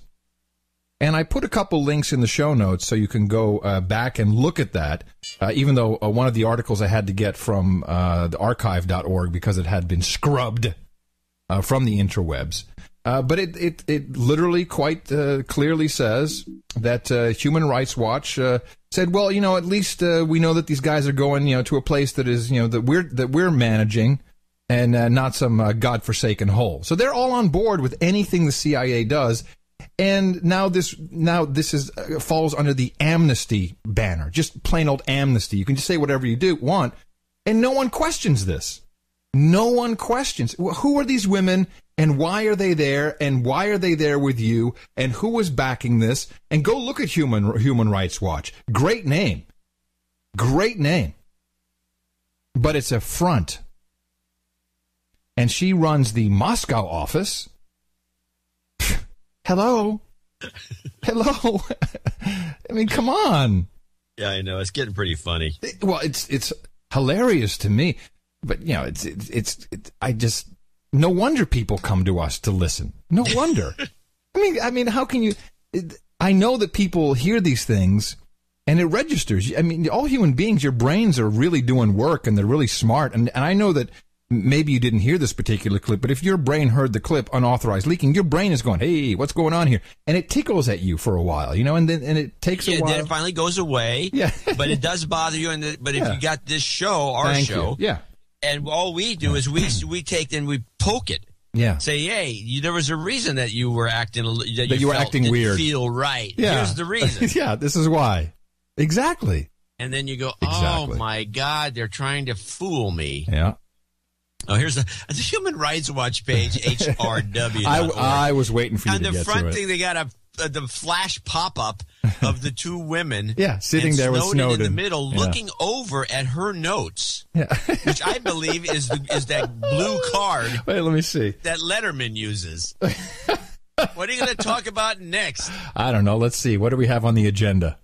He's looking at an agenda. You got a flash pop up? I don't have a pop up. What did you get? What did you get that I got from? a pop. It says Human Rights Watch meets with Snowden. Sign up for breaking news here, and it's a Oh, it, it popped up for me now too. There we go. there you go. It's copyright 2013 by Tanya Lokshina. Human Rights Watch. Yeah. Now, what, she didn't take this picture. Why is she taking the copyright? But look at the girl in the background. Look at Sarah. She's hot, man. Come on. Come on.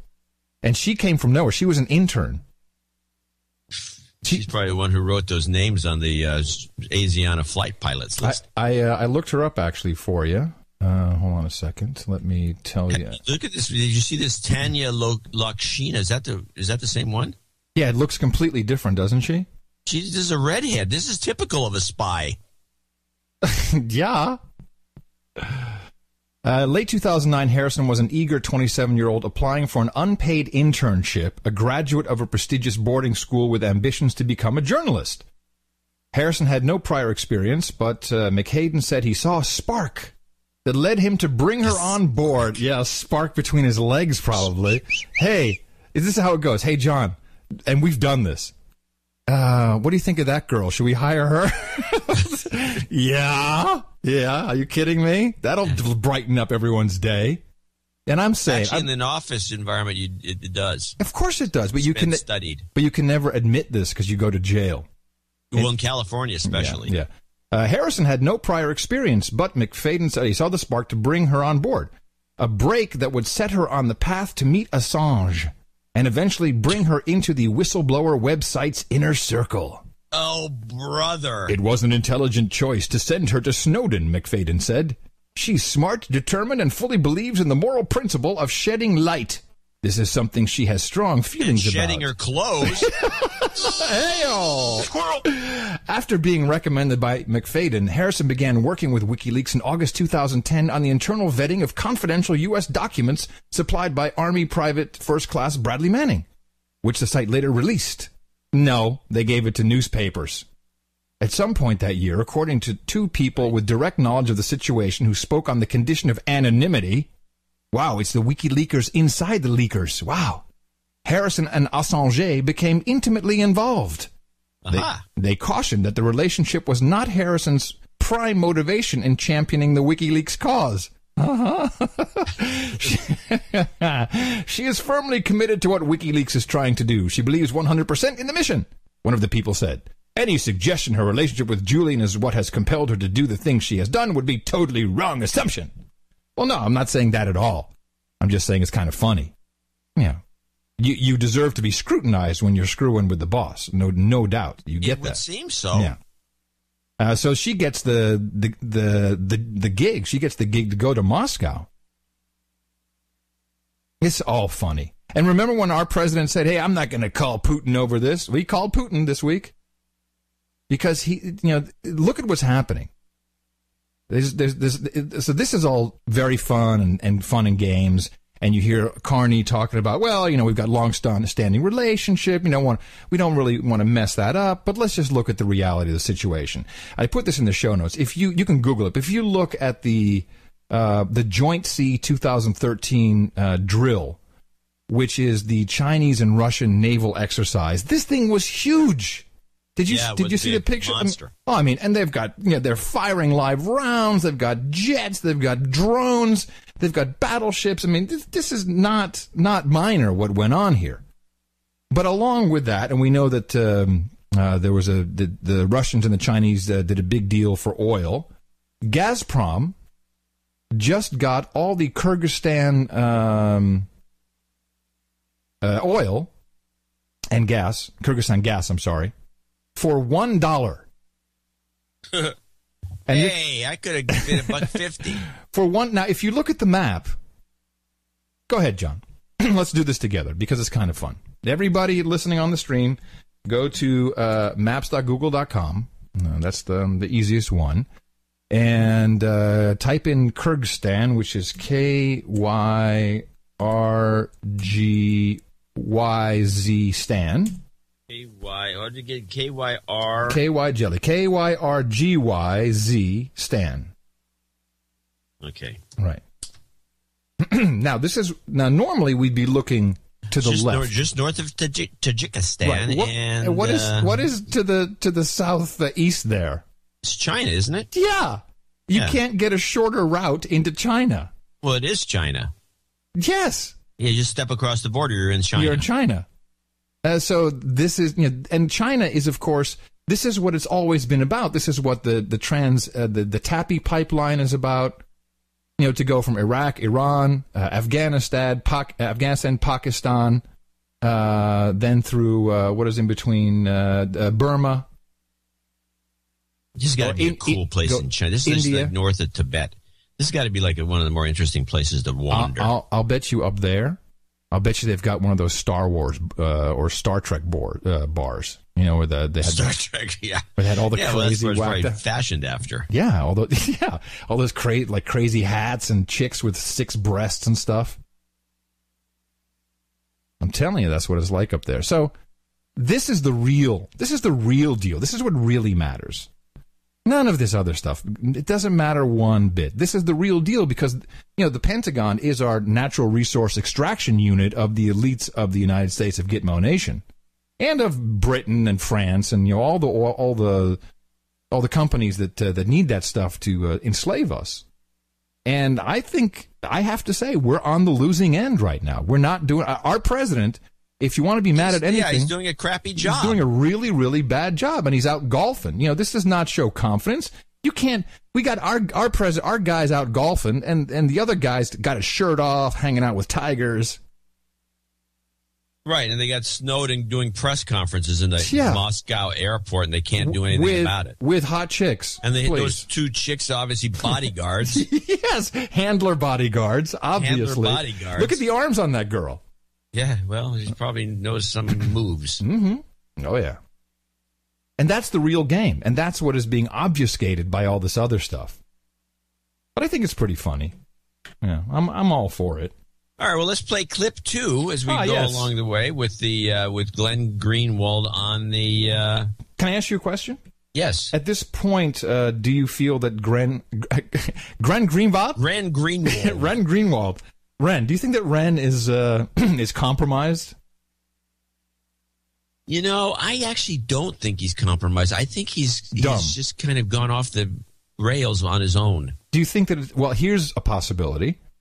Perhaps he's he's just really gotten caught up in his 15 minutes.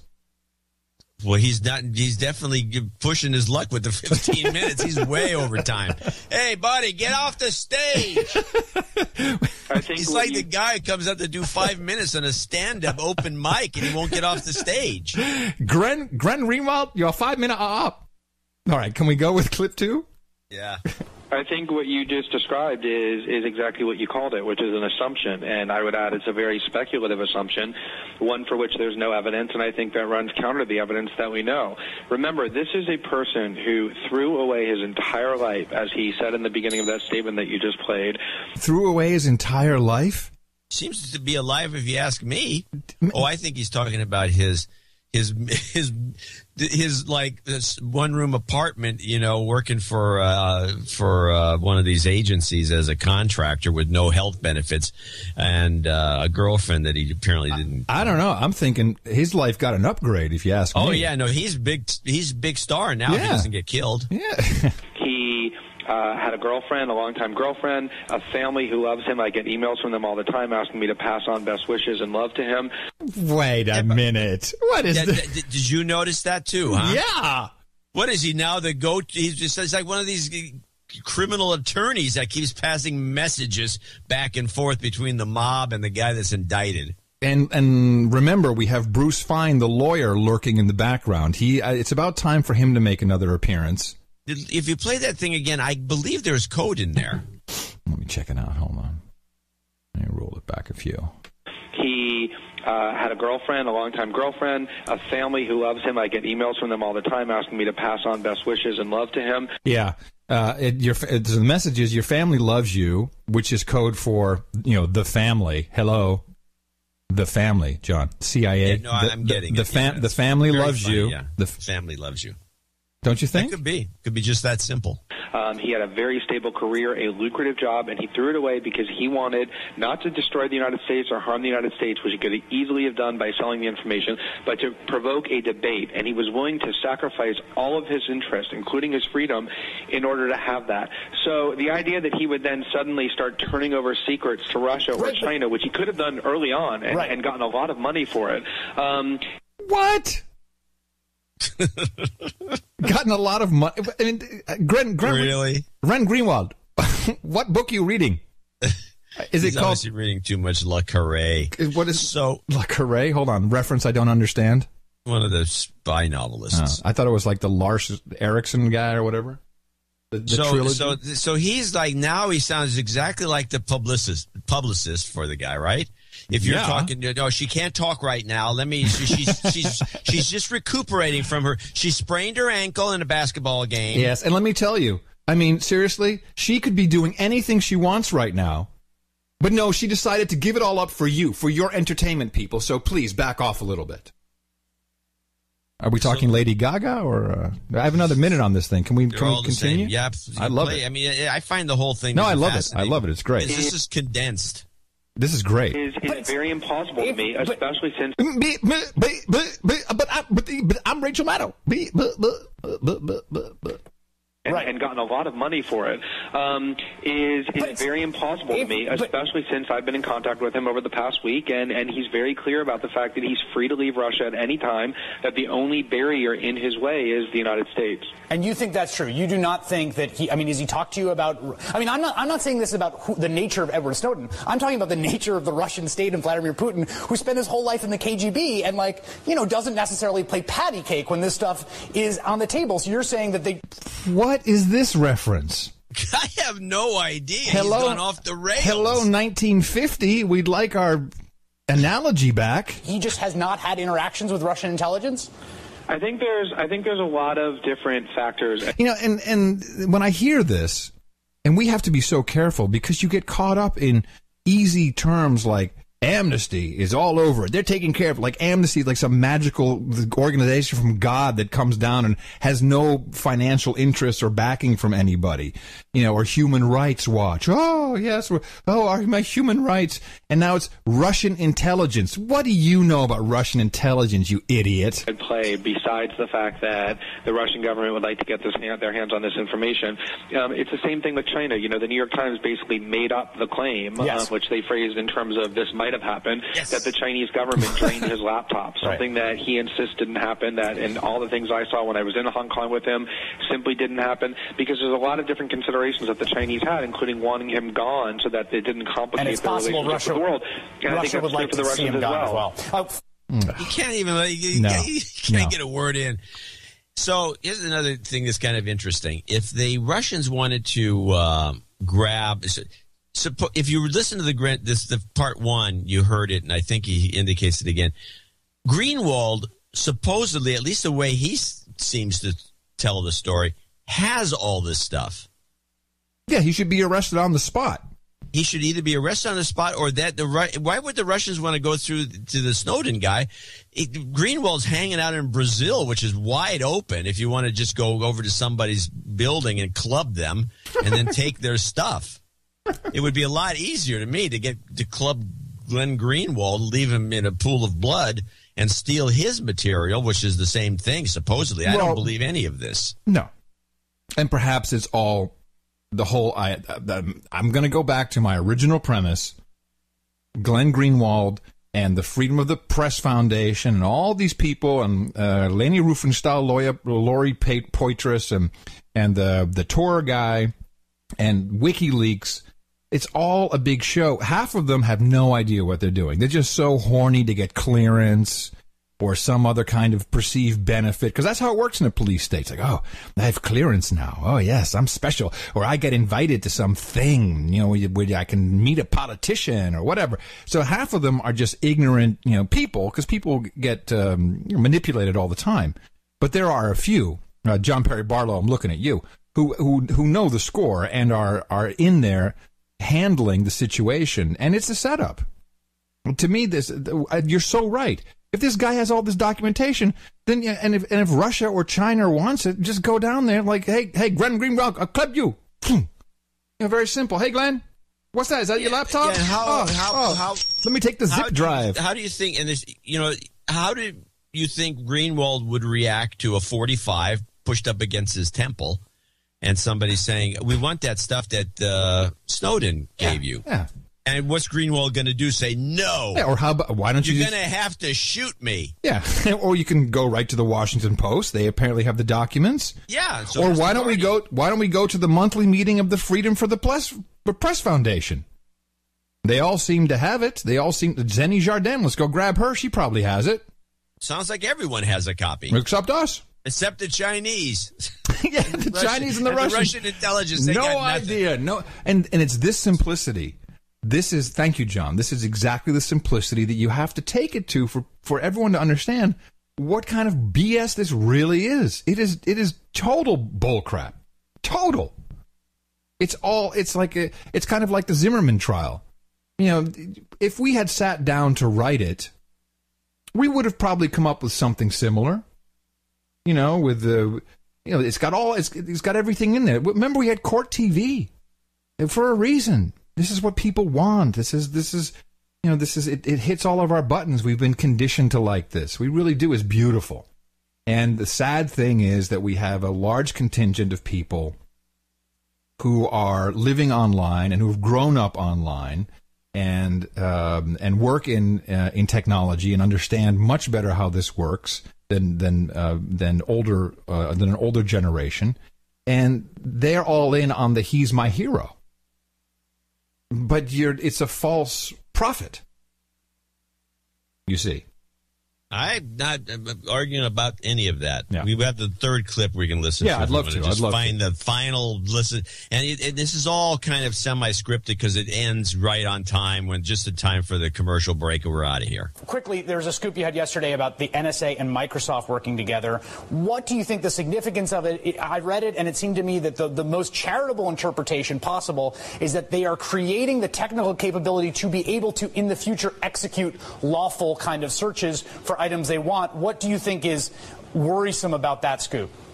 The, the Silicon Valley companies have continuously said that they only do the bare minimum the law requires to work with the NSA, and what this shows is this constant collaboration and collusion on the part of Microsoft to build systems to allow all sorts of access to Skype, to Outlook, to these cloud systems, way beyond what the law requires. And the idea that they need a warrant in each individual case is untrue. They only need a warrant when they're targeting American citizens, not when they're scooping up all kinds of communications, including ones involving Americans. Glenn Greenwald from The Guardian, thanks so much. Appreciate it. Um, let me let me say a couple things. Uh, first of all, uh, I looked for a clip. I could not find any clip of this because it was in an Argentinian newspaper. Uh, Glenn Greenwald's latest, which of course is being propagated now by uh, Reuters predominantly, uh, is here we go. Guardian journalist Glenn Glenn, Glenn Greenwald said in an interview published Saturday that the U.S. should be quote on its knees begging that nothing bad happens to NSA leaker Edward Snowden because the information that would then be revealed would be the country's worst nightmare. Okay? Yeah. So now these these are words And by the way, yeah, go on to, because okay. I'm going Uh, well, go ahead. No, go ahead. Say it. Say it. Well, I'm just saying this just seems like an overt threat uh, from, from Glenn Greenwald. Who and why would has, he has know been this? And- this for me, John. This discredits him as an unbiased journalist. You- This is not how a journalist works. no, You're not I supposed to. that 100. That's percent. This is to- this is something I would say. If that's right, and if that, and if if all that is Case in true, point. why doesn't he turn it into a story, not just some through some interview? He's the, the stories of Stompton is all about Glenn Greenwald being interviewed. Well, you know they're you. gonna he's gonna blow it into WikiLeaks if Yeah. anything happens. If he gets killed, it's gonna be it's got a dead man switch working for him. yeah, he's got copies all around the world. Exactly. Okay, so what what are the results here now? And by the way, let's let's let's re let's back up the truck for a second and re- remind people what you said earlier, which is that if you took this entire package and sh- and they showed it to the intelligence agencies and they said we got no problem, Man. how does this even make sense? What you just said. Okay. In other words, Yeah, how does it make contra- sense? It's going to destroy the country. Yes. Worst nightmare. It's all contradictory. But what do we have now? We have the following. We have a media shield law being set up, uh, which is uh, partially because of well, it's all it's very related. It's all in. It's all interrelated because we have the spying on journalists, and we now we know how they do it, and we have all the information, so-called information, um, and you know. So this is all. Thank you, thank you very much, Mr. Snowden. Uh, so we have a media shield law coming, which is is literally meant to obfuscate all kinds of stuff under the banner of National Sicherheits. Right?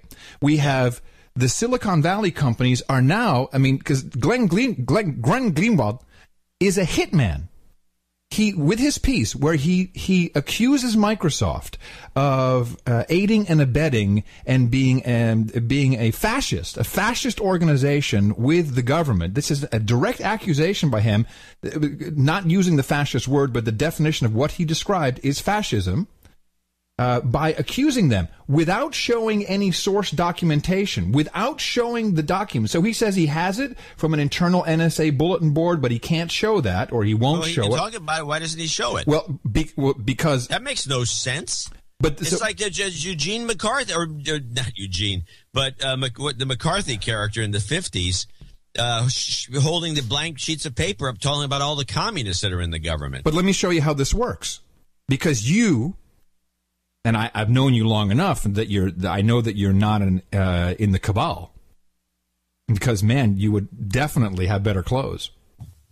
Hey, you're not in the cabal, but what happens is Glenn Greenwald uh, threatens Microsoft by saying, "You guys are complicit. You are already doing this. You know, Skype. You, it's all in there. Everything. You're letting them in. You suck. You're horrible." And what happens? You get true journalists like John C. Dvorak writing an article saying, "Why would you trust Microsoft? You should throw them out." So now Microsoft, believe me, there's talk going on. They're like, "Okay, what do you want us to do? We give up." This is how the government. Did, uh, you, the, before you finish that thought, uh, the first thing I thought of when I heard this thing was how much in the way of donations did Microsoft give to the Obama campaign? Nothing. They Boom! Pro- they there pro- it is. Yeah, yeah. hey, you sound like a rapper. Um, so that's part of it. That's why they go first. But they're going to do this with everybody. They're going to do it with Google. They're going to do it with Apple. They're going to do it with every single company. It's leverage. It's like, oh, hold on a second. You don't want to play ball. You want you you, uh, you want to try and be transparent. Uh uh No way. What you're going to do is you're going to play ball by our rules. Otherwise, we are going to make you look like you're a total a-hole shill, and we're going to make Dvorak write about it. Well, my writing was not about what Greenwald talked about. My writing was the was the simple fact that Microsoft, which is always known to have a back door, uh, but no one's ever proven it. Essentially, they closed that door of doubt, and it just doesn't make sense to me whether this what Greenwald's doing is is hitman work or not, it just doesn't make sense to me that someone in a foreign government would trust Microsoft, even if it wasn't true. But why would you take a chance? You don't take a chance. I mean, that's what. Right, the, but but can we can we agree that you probably would not have written this article at this moment and uh, without the Greenwald story? I won't agree with that because I actually had planned that article over a week ago. No, but I mean, in this time period, I mean, you know. You, oh, you mean to go the overall green? Uh, yeah, yeah, yeah, over, oh, yeah, yeah, absolutely yeah, not. Just, That wouldn't make any sense. Exactly. So I, I think it's fair, and and you're obviously, you know, look, you wouldn't be doing this show if you could make some real money working for these a holes, you know. So you know, so obviously you're not part of it, but that's how it works. That's exactly how it works. You get this going, then, and now Microsoft is they're hostage. They are held hostage, no doubt. And Glenn Greenwald is out there and he's the hitman. And they've, they've got the goods on him, too. I don't know what it is they've got on him because he, he's not doing it right. I mean, we both agree that, you know, the least you, the very least, you like, I got a book, you know, I got something else, you know, I got to promote something. They're not paying him to do all this. I well, think, they may be writing. I think they got the goods on him. They, they may be writing the book as we speak. Possibly, possibly his book, and then yeah. the book will magically appear. I can assure you, as a writer, that the kind of attention and and even the article writing that Greenwald's doing currently, and all the attention he's getting, and all the conversations that must be going on, if he comes out with a book within six months, uh, I would be stunned. I mean, you just, I mean, he, I would be stunned if he'd actually written it because you, there's only so many hours in the day and you can only really write the most any professional can write if there's zero distractions is they can maybe hit 10,000 words in a single setting once in a while. Now, there are no yeah, I mean, writers that this guy, he's barely sleeping. He has no time to write a book right now. He's doing interviews. He, he can't do he's an anything like that. Yeah. whore, yeah, for sure. Interview whore. That's not fair. If, if you know, look, it's. I've been on this train. It's great when you get on the on the train and you got the BBC calling you and the New York Times and Charlie Rose. It you know it it, it gives you a huge boner. It does. It's great. It's, you know, but Greenwald is you know he I don't know I I think they got the goods on him and maybe something about that porn porn site that he's been running or something. I don't know what it is. I don't care. Uh, but they got the goods on him, and, and, and maybe this is kind of the payoff. But go back to the original premise that he was working for Salon, which is being paid for by NSA uh, compatriots, namely Adobe. So you know he look, we're all compromising one way or the other. I've, I know I have at least five people handling me. you think you wish. No, I'm for sure, for sure. Yeah. Absolutely. Oh, come on. There's five million people uh, working in intelligence in the United States alone uh, that have some kind of clearance. Two million of which have top top secret clearance. You're telling me that not, not one or two of these emails that I get continuously from some people is not Oh, yeah. handler? Oh, yeah. Well, that's- yeah. Absolutely. I can name two or three of them myself that Yes. that are handling you. Yes. Yeah. Yeah. You, you want to name somebody, big boy? I don't feel like it, but I could. But I'm Yeah, not I, going. to. I know you could. I can. I think I can. I can name five. That's why I say. But it's okay because I often reply and said, "You're the, you're one of the best handlers I have." it usually goes quiet for a day or two after I say that. Maybe just get them to donate. Who cares if no, they donate too. That's the best Yeah, part. good. That's a good. Yeah, they're not donating enough. Yeah. Anyway, so the, uh, the I think uh, I learned a new term. I think um, Glenn, Glenn Greenwald uh, may have to be careful for uh, Boston brakes. Have you ever heard this term? Nope. It's a beauty. The Boston brakes. Um, so, well, a producer sent it to me. I, there's a link in the show notes, and the Boston brakes uh, started in the uh, uh, I think the 80s, where uh, the mob in Boston would you know like disable brakes or you know like and but not like kill people or try not to kill people but it's like the daughter of some rival guy and then they you know that have her slam into a light post and have the accelerator or the uh, speedometer look like she was doing 200 you know stuff like that which is all completely doable Oh yeah, more doable today than ever. Yes. Oh, oh! B- before I forget, uh, one of our other producers. Oh, jeez, we got so many. Um, has been requesting stuff from Los Angeles regarding uh, Michael Hastings. He's requested uh, the coroner's report, which is not yet available. He got a response on that, but he also requested a copy of the 911 tapes.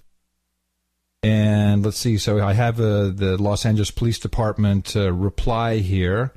Uh, reviewed your request for 911 calls, uh, blah, blah, blah, blah, for the June 18, 2013 600 block of Highland involving Michael Hastings. And then they go into why they can't release the tapes and why they don't have to release the tapes. But they gave us a call log with a summary uh, of, let me see, one, two, three, four, five, six, seven calls, four of which I shall read to you. Uh, June 18th, time of occurrence not provided in call. Uh, factual circumstance caller reported an accident, car exploded. Caller was transferred to Los Angeles City Fire Department. Uh, number two here caller reported a huge accident, car had blown up. Caller transferred to Los Angeles City Fire Department. Uh, caller reported a traffic collision. He is not involved. There's possibly a fatality because there was a giant explosion. now, the thing here's the thing that uh, that is uh, that will somewhere has to be in the report as a as a hallmark of the Boston brakes. And Boston brakes can be, you know, it, it- it's also a term that is used by the mob for uh, you know airplane crashes, small airplane typically. But the hallmark of the Boston brakes, no skid marks. Yeah, there's no skid marks in the No skid marks in the Hastings thing either. Zero. Now, I want to go back because I'm actually, even though I'm supposed to be more skeptical than on some of these things. And people, by the way, I, I get some, well, Dvorak's less skeptical about Adam's ideas. And I, I'm going to just bring this up. Yeah, I'm less, Adam has not gone into his water powered cars and his space aliens and a visitation with them and all that stuff where I'm skeptical. He's been doing, he has r- real source material. What am I supposed to be skeptical about when somebody like just now reads the log and it says explosion, explosion, explosion or blew up? And, and the thesis, of course, which I think is a very good one, uh, it- and can be easily uh, looked into, which is the idea that a drone hit the car. Now, uh, I'm thinking he was doing, he was supposedly doing 100 miles an hour, and there was a, sh- a picture of him zooming through a uh, a red light that that's been around the internets. Yeah, by a paparazzi, and the, and he was going the wrong way. Okay, Well, we'll, we'll forget that. but whatever the case was, let's assume he was going fast. Yeah. And it would be like somebody. Could, what if he got a call saying, "Hey, you know, they got a they got a drone on you, blow you up, get out of there." yeah, and so he was trying to get out of the way, and he got. And here's what I want: somebody's got to. One of our listeners got to be in the L.A. area with a Geiger counter. These drones are tipped Hmm. with with uranium, depleted uranium. I well, don't know th- that those have. the, no, those are only the ones we shoot at brown people. White I- people don't get the, I the would DU. really doubt that we have like special drone heads if you're going to kill somebody. Of course and, and most of them don't believe that the, the depleted uranium is that bad of a thing. But hold on, this was not a predator drone with a Hellfire. That would have made quite a hole in the uh, on Highland Avenue if this was a drone. Okay, you're right. It had to be a smaller, Yeah, much smaller, much, but, which but means very it's more likely to me to be have a uh, uranium tipped. Why? But whatever.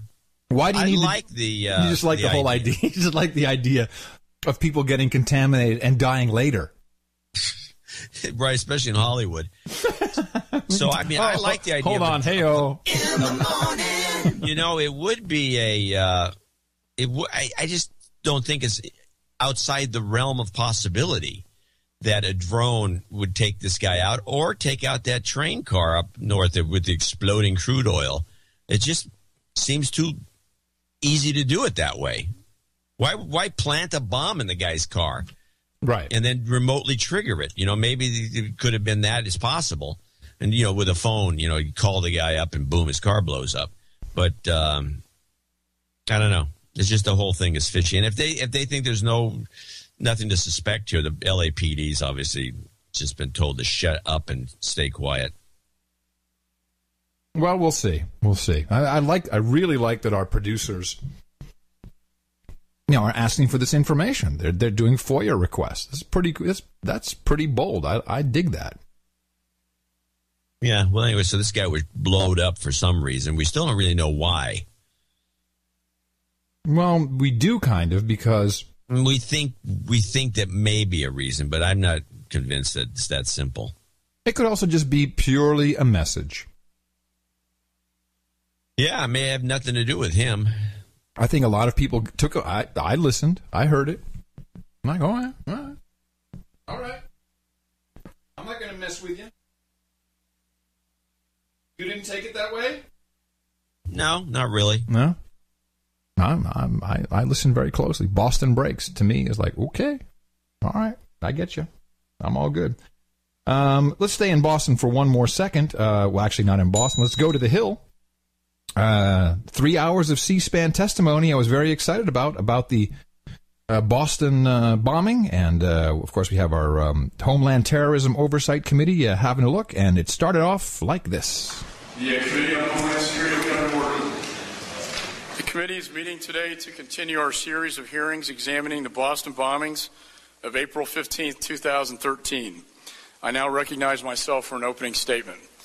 I'm gonna. By the way, when I walk into a room, I'm gonna do that. you recognize yourself? Hi, everybody. Hold up a mirror first. Hi, everybody. I recognize myself for an opening statement about my entrance. Hold on. I want to thank the witnesses for appearing here today. Uh, this is an open hearing, and today we will vote on convening a closed session tomorrow to receive classified testimony So already I'm like, oh, really? This is gonna be this is gonna be bogative. There's gonna be nothing good in here if the real testimony is tomorrow. from the Department of Homeland Security and the National Counterterrorism Center. Unfortunately, the FBI has refused to appear. Oh, Oh, really now? and continues to refuse this committee's appropriate requests for information and documents crucial to our investigation into what happened in Boston. Let me guess. Is that because they can't find the video of the Tsarnaev brothers putting the bombs into the trash can? And could that be it, John? The video that everyone knows exists, but no But one has actually ever seen, it, even though we've seen every other video known to man. including the governor? That no one has seen this video? Could it be anything like that? Could that have anything to do with it? Possibly? Maybe. Three months ago, there was a terrorist attack in our country, and it is this committee's responsibility to find out how we did not see it coming. What concerns me greatly is that the problem at the heart of preventing the Boston bombings is a failure to share information, that that is being witnessed now in this very room. That's right. There you go. Yay! And then we have, uh, and this is one of our uh, producers again who caught this, and I, I just found it interesting. Um, you know the guy uh, Jeff Bauman, the guy who um, apparently ha- had uh, his legs blown off. He was in the wheelchair and everything, and remember that guy who everyone was like, "Oh, he's he, he's fake." Well, he's uh, it's his healing process is remarkable. Uh, NBC Nightly News had a piece on him uh, where uh, it's it's incredible how quickly he is healed. And I haven't. I was gonna ask Miss Mickey because she has some experience about this type of particular wound. Um, but I, I was actually I was very sick yesterday. I have to tell you about that later. Um, so I didn't get to because it's, it's a weird topic, weird conversation. But this guy, he's healed very very quickly. He's already uh, uh, using prosthetics uh, to walk around, and uh, they amputated his legs above the knee. Uh, and uh, again, I, I just don't know enough about the topic, but I it looked like his um, his injuries were below the knee, and I would think that it might be handier to have the knee. I don't know. I I don't know any of this, but he threw this line out, which was mind-boggling. Jeff got to throw out the first pitch at Fenway and was invited on hallowed ice at a Bruins game. Seeing like 20,000 people yelling for you and clapping is pretty intense. Just three weeks ago, Jeff took his first steps with the help of his new prosthetics. What have you learned about the resilience of the human body? Oh, it's, it's crazy. It's really tough. It's, it's insane. I mean, I, I'm a quick healer. They were calling me Wolverine. He's an X-Men guy that heals really quick. How do you remain so positive? They call him Wolverine, which would just happen to be in theaters now. Oh God. yeah. There's no reason for them to call him Wolverine. Yeah, there is none. But it's unless in- he's a dead ringer for uh, Hugh Jackman, is but, he? No, but it's in theaters now. Uh, yeah, that's that's that's bad. Uh, Good job by whoever that was that well, came up with and and this morning I had another producer, and and I I wasn't getting it. I was not, I was just not understanding what he was telling me, and he was sending me these articles. Of course, we had uh, this kid, uh, Cory Monteith, from Glee, uh, died uh, in a hotel room. Right. And uh, so he's sending me these links. He's like, "Look, look, look, look! You've taught me how to do this. You know, you, you, you you're, not seeing the connection. You're not seeing the connection. I'm like, what? What are you talking about? And uh, let me see if I if I have. Uh, don't we have a Hollywood Whackers jingle? We used to. Mm, I don't remember a jingle. Um, oh yeah, there was something. It wasn't. Yeah, it, I don't think you played it as much to keep it. You probably lost it. ah, I shouldn't have lost it. Mm, anyway, it doesn't matter. I'll see if I can find it later. Um, so this kid dies, and he sends me this link. He says, "No, no, no, this is about something else." I was like, "Okay, what is it?" So here is the headline from Variety. After after spending the past two weeks trying to turn the tide for Pacific Rim, Warner Brothers and Legendary Pictures now are bracing for what appears to be a gruesome inevitability for the 185 million plus dollar monster movie with a domestic opening ranging between 25 million and 35 million, which is pretty much failure. Um, now, let me ask you if you uh, st- stood to lose, you know, a good 150 million or 100 million or even 20, 20 million, uh, would you kill someone if you could turn the tide? Me personally, no, no. but no, but if you were evil, Oh, if I was just one of those Hollywood guys, yeah. Probably. Yeah. Um, if you so, where was this kid whacked? Now, by the way, this uh, this movie, the uh, Pacific Rim, uh, is a uh, it's a thirteen. It's a it's a G PG movie, so it's for it's for kids who love Glee. Well, there's a couple of things about this movie that are weird. Before you go on your finish your thing, at first it got a lot of negative, bad publicity early on because it was going to be a dog supposedly, and it is a, a singing and dancing monster movie.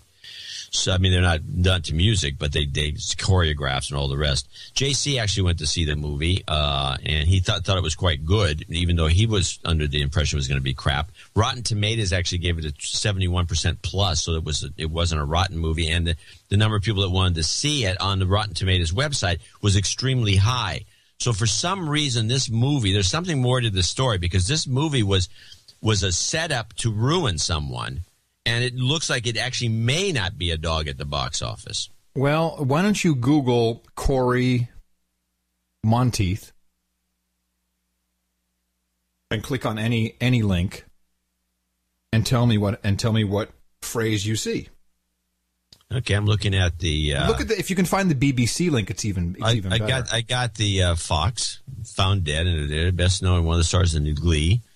Uh, blah blah blah. Confirmed in Monty's body is found in room 21st floor, Pacific Rim, Pacific Rim Hotel. There you go. Yeah, well, And every single story repeats the word Pacific Rim at least five times. Hey, it's a Hail Mary, but it's not entirely out of the question. Well, there's something very suspicious about this film, and I believe there's two. There's one side trying to sink it, and one side side trying to make money on it. I don't know, but that is peculiar. A peculiar coincidence. I actually stayed at that hotel.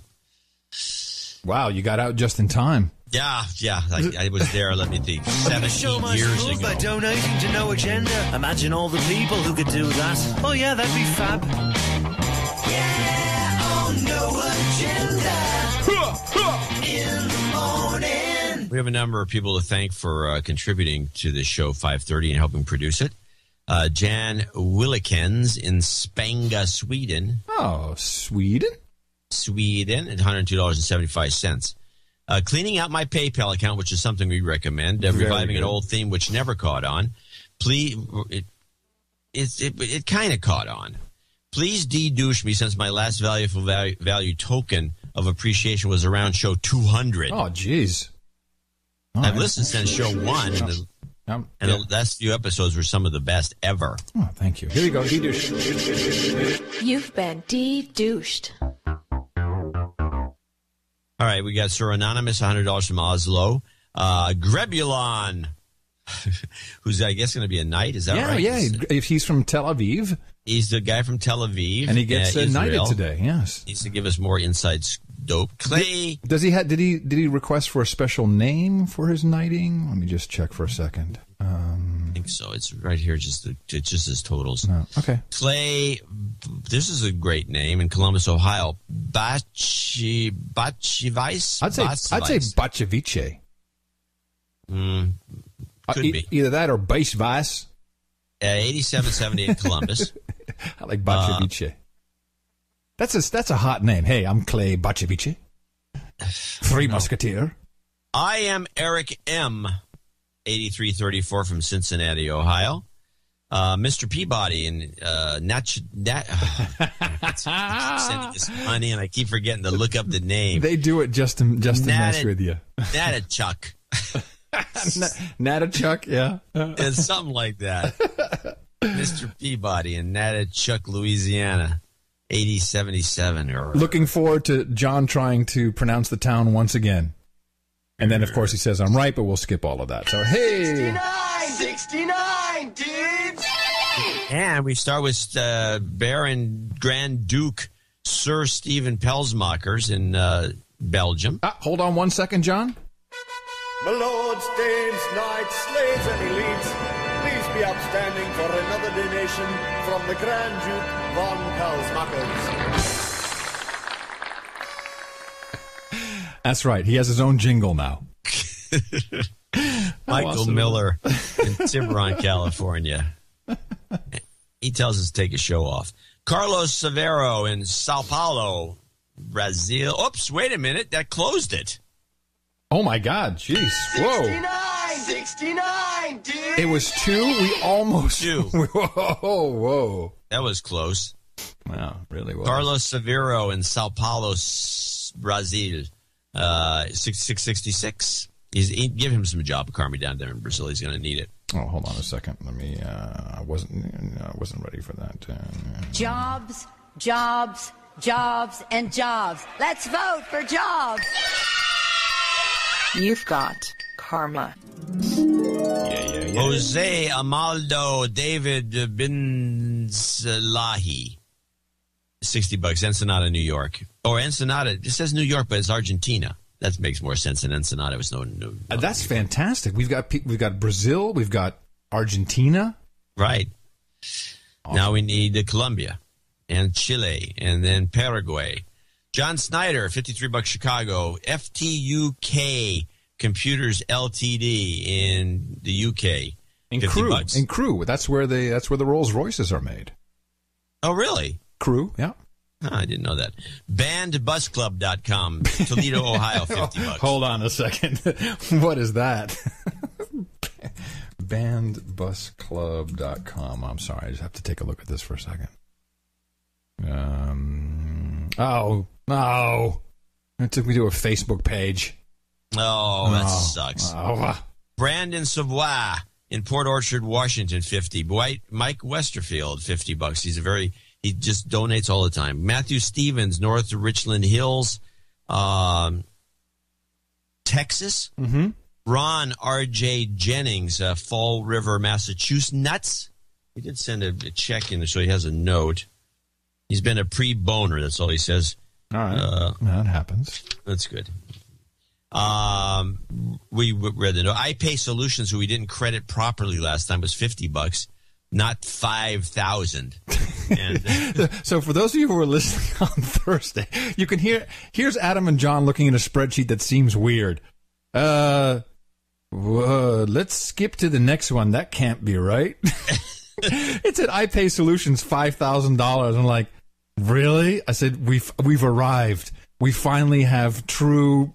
You know, like it's come through. Corporate America is now going to underwrite us. But Yeah, no. we're waiting. and that concludes our very short segment of donors here for show 530. Hopefully, we'll have, pick it up for Thursday. I want to remind people they have to help us out here because it's the only way we can keep keep doing this. It's uh, Dvorak.org slash NA. And I want to remind everyone there is actually a peerage map. One of our producers is maintaining, and there's a link in the show notes. Uh, I'll make sure I put that. Uh, on, I'm saying that, but I want to make sure I put it uh, put it underneath the uh, the credits there. Oops. Uh, so you can take a look at uh, where all of our knights, dames, barons, dukes, earls, and grand dukes are, and what protectorates they have. You know, it's crazy. I, I've turned off every single device. I still hear. Maybe. Do you have your phone on? Is your cell phone near you? That's pretty much. It's, is it in the room? Is it on? There's nothing in here, and I don't hear the buzz over the line. No, I, I. You know, I hear the. I hear something trying to connect, and I, Oh no, no, no! I got nothing going. Oh, okay. I've been cell phoneless, and it's working very well. It turns out you don't really need a cell phone. God, I hear this fucking thing again. I don't understand. It's like I, it's like I hear it continuously in my headphones. All right, well, Maybe there's a guy with a big dish across the street pointing it at your house. maybe. Put some aluminum foil on the old, old noggin. hold on, uh, hold on. Let me get my hat for a moment. Dvorak.org slash NA.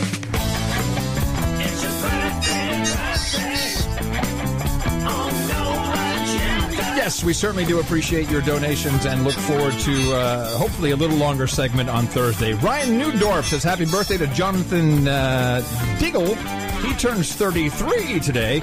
And Secret Agent Paul, responsible for many of our jingles, like the Open Up Jebediah, Open Up Curry, and the Pelsmakers jingle you just heard, says happy birthday to his naughty nurse, Danielle. Send pictures, my friend. Okay, we've got uh, two nightings today, so that is uh, very good news. Very happy as people are uh, catching up with their uh, full time donations. John, uh, your your blade, if you uh, have it, uh, yes, very good. Grebulon and Harvey Lee, step forward, gentlemen. Both of you are about to enter that exclusive club known as the Round Table, where the knights and dames all sit. So I hereby proudly present thee with the award of Sir Grebulon and Sir Harvey Lee, Knights of the No Agenda Round Table for you. Hookers and blow, rent boys and chardonnay, hot pants and booze, long-haired heavy metal guys and scotch, wenches and beer, Rubenesque women and rosé, gushes and sake, vodka and vanilla, bong hits and bourbon, sparkling, sparkling cider and escorts, and mutton and mead, and a seat at the round table, which is expanding in diameter all the time. Yes, like many of us. Thank you. Thank you very, very much for your contribution. I was very, very sick the other day. Yeah, you were going to say that. Yeah, so uh, um, uh, Sir Gene, Baron of Texas, Sheriff of something. No, Baron de, Marriott, de Marriott, Sheriff of Texas, was in town. Okay, so what did he try to do? Did he bring his pricker? Well, uh, so he took Miss Mickey and I out to dinner, which was very kind. This was Friday. Where'd you And- go? Uh, to uh, Trace.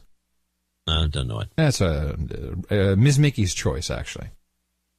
She's always easy when someone else is going to pay. And um, so we come back, and he says, "Look, I got some cigars." Oh, you smoked a cigar and you got sick. Well, here's were they Cubanos? Uh, they were special cigars. I'm not. They were not anything identified specifically as Cubano, but they were. I hadn't smoked a cigar in over a year, mind you, and of course I haven't smoked at all. And you don't really inhale cigars, but You know. better not. No. Uh, so we're outside, and, and of course it's 95 degrees, and we're out until on the back porch until eh, I think Gene left around quarter to two. And so I smoked one cigar with him, um, and uh, and you know drank one or two scotch with water, which is what I typically drink. And I woke up at seven in the morning, and I, I almost asked Mickey to take me to the hospital. and and so I my You woke up this morning at seven. No, uh, yesterday. Okay. Yeah, Saturday. Or maybe it was Yeah, like don't six- go six- partying the night before the show. That's my advice. Well, no, but but check it out. We weren't partying, so my, obviously my mouth tasted like a dead bird had shit in there. But yeah, that was, that's, you know, that's that- the cigar. Some cigars Right, do that. It's right. terrible. Um, but what had happened is the mold allergy. I, I I had not realized that the mold is like at the highest ever. And you'll recall what happens with me is my brain swells up. Um, and so and and, and I, my head was exploding. I had to I had to stay home all day. I was like li- I was lying down. I was completely hammered, and so now I have to eat all these, you know, the nettles and the quercetin and everything. And this morning, even though we went to bed on time, I still woke up with a little bit of a headache. So it's, it's very problematic this uh, this mold allergy. Uh, but I so you blame the mold, well, not the cigar and all the booze. It wasn't. That's what it was. Because I didn't drink anything last night. And I didn't smoke anything last night. Uh, at first, I thought Gene had literally poisoned me. I'm like, oh, that's it. Because we all know Gene. We all know. He's gonna go. Oh God, you know. I swear, I'm like Mickey. Nobody trusts me just because I'm Russian. I think Gene has poisoned me. Take me. That's why I'm like, take me to the hospital. It's time. Gene is poisoning me. You're a little paranoid. That- well, hello, Hastings. Need I say more? Ah. It's a good one. Yeah. And then the butt disappeared. what do you mean the butt disappeared? Well, it's because the poison would have been in the cigar, and then Oh, right. had to come and reclaim it. And and yes, the cleaners came that day earlier than usual. And scrubbed down the house and took the butt, which had all the evidence. Read his email on the No Agenda Show. Ah, just two quick ones. Adam, being a good producer, when asked to proceed into the scanner, I politely advised that my left shoulder prevented me lifting my arms above my head. It works down under. He says now, um, this is our producer, Aiden. Snurkle, actually. Long story short, um, in so they they finally put scanners in Australia, John. This is really what this is about. Uh, you'll be pleased to know they finally installed scanners in Sydney International Airport. Yes, we're pretty slow on the uptake in Gitmo Down Under, We're probably buying the old ones that they were decommissioning up there where you guys are. They I've weren't been- using Rapiscan, wa- were they? I don't know. He didn't. He didn't. Uh, Gotta tell us. Yeah, well, we'll know. Uh, so anyway, being a good producer, he advised his left shoulder prevented him from lifting his arms. The confusion that ensued was hilarious. That's always fun when you can confuse officials. Uh, long story short, they apparently had an opt-out procedure, but no one knew what it was. Being the good citizen that I am, I inducted the security staff at Sydney Airport into the No Agenda Valet program with helpful suggestions like instead of the instead of the scanner, you have to pat me down and someone needs to collect my things for me. Then you can swab me and my bag. so he's telling him how to do it. Uh, everything went according to plan until the security agent advised me pre pat down, hand wand metal detector scan, to go collect my bags from the x ray table, pack it all up, and bring it to the bomb material trace scanning for scanner, scanner for scanning. To reiterate, I was asked to pack my own bag up from the x ray machine and could have put whatever I wanted into my pockets back into the scan bag before I was treated to the hand massage. I was really oh, looking forward to my. That's a blunder. Yes, he said, I was really looking forward to my first valet service experience. So even when I asked the agent, Are you sure I'm allowed to touch my stuff before I'm pat down? To which the agent replied, Yeah, that's fine. Nice to see that with all the new DNA scrambling security technology, it all comes unstuck with someone who isn't interested in being a slave.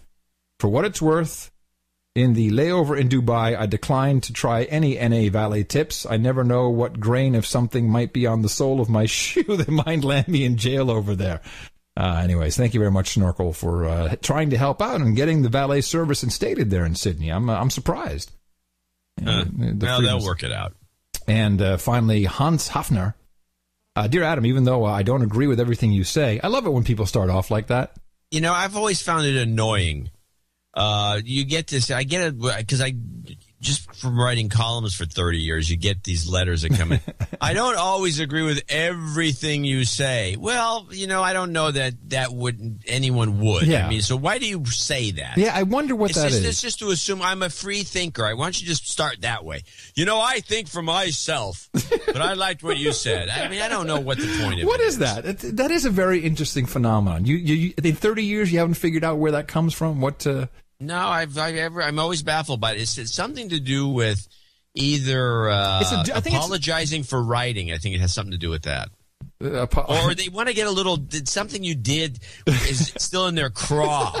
How about they, they got to give you the needle. I don't agree with everything you say. Okay.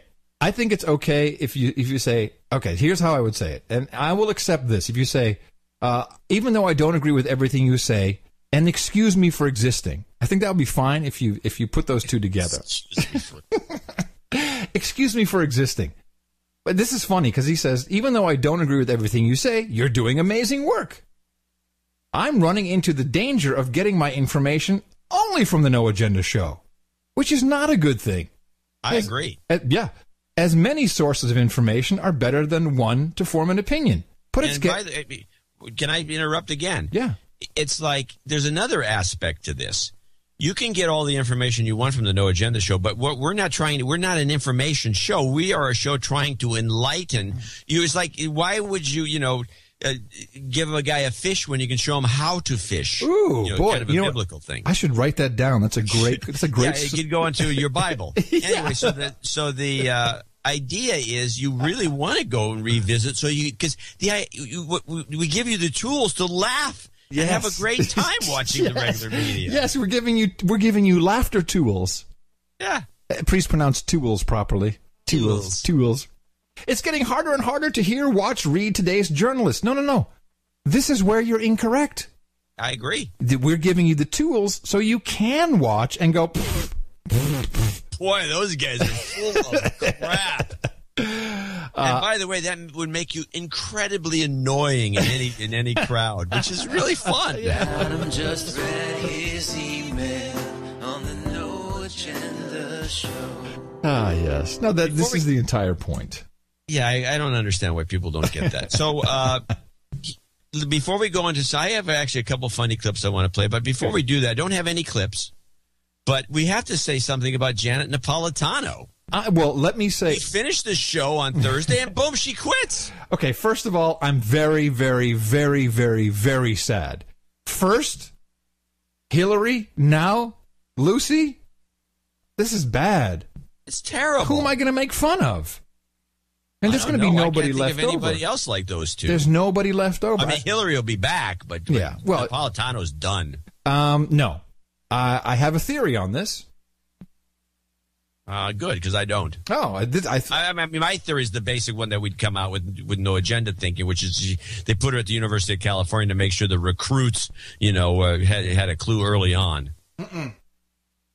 No, this is a little bit longer game, although that's a perfect place for her to go. So first, we have to um, know that everything's coming undone. Uh, the stuff is going to unravel. There is, you know, we have this. The lawsuits, you know, the, we we haven't talked about them in a while, but that whole organization is ill.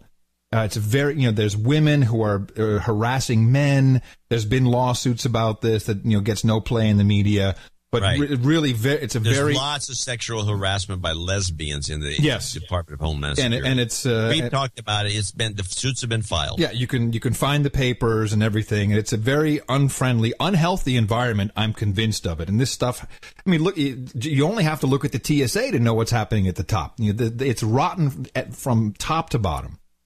Um, the FBI is now not showing up at hearings because they've messed it up, and it's going to come. To, there is a slight possibility that uh, there's going to be a huge revamp going on uh, because you know why not? We might as well. Uh, you know, this is a, a big organization, uh, a lot of money, and it in, uh, you know, and it's all made up stuff. It's all stuff we don't need. So you know, it, it, it's.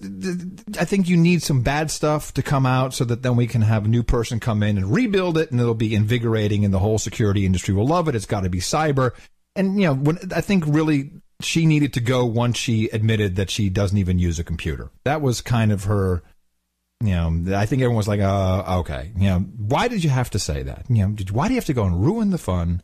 You were doing great. I don't think she she if you're not if you're so far out of it that you you wouldn't know not to say that. Open up the book. I want you to put an entry in because I know where this is headed. This is this is not just her going in, into uh, I mean education. Are you kidding me? Uh, I would say Ruth Ginsburg should not be eating any oysters. Ruth Ginsburg, who is a Supreme Court justice, is going to die in the next year. I'm sorry to say it. And Janet Napolitano will be our next Supreme Court judge, replacing Ruth Ginsburg. Well, that'll be a wash. Actually, be an improvement. No, no. I think it's going to be very frightening. Now it could be any. It could be. It could be Thomas. I mean, he could just.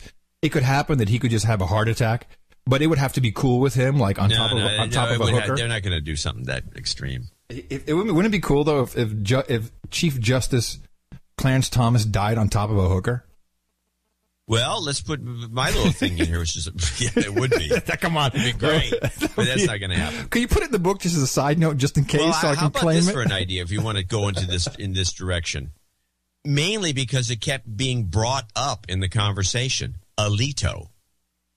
Okay, possible. Because if you remember, we've been hearing, "Oh, I had Judge Alito's paperwork right in my hands." They were, you know, spying. It was one of the, it was the Tice guy. He was talking about it. Everybody that's oh, very good, very good. Yes. whistleblowers that are supposed whistleblowers from the Uh-huh. NSA. There, they kept mentioning Alito, Alito, Alito. That could be code. Write it down. Alito, Boston brakes. Alito, Boston brakes. Janet, Supreme Court. You can feel it. You can feel it. I know. I, she's she's a lawyer. She's t- she's all in. You know, Well, it can't happen right away then because they're not going to No, put no, her at the no, no, University no. of California. It's going to take. It's No, got to be near the end of Obama's administration. It, of course, it has to be before 2016, obviously. But they have they needed someone. They needed the right person, and she doesn't have the right resume. Yeah, she's been governor. Um, you know, she's been in, she's run a huge department. Now she gets to do the educational part. It's perfect. She'll have everything she needs. She'll have the, you know, the background now of the, of the education. I have to dog ear this page then because it's going to be way out there. Yeah, so can you just slip a note in it? Mm, yeah, don't A lanyard. Don't you have a no agenda lanyard? I have lots slip- of lanyards, but they, slip a lanyard in there.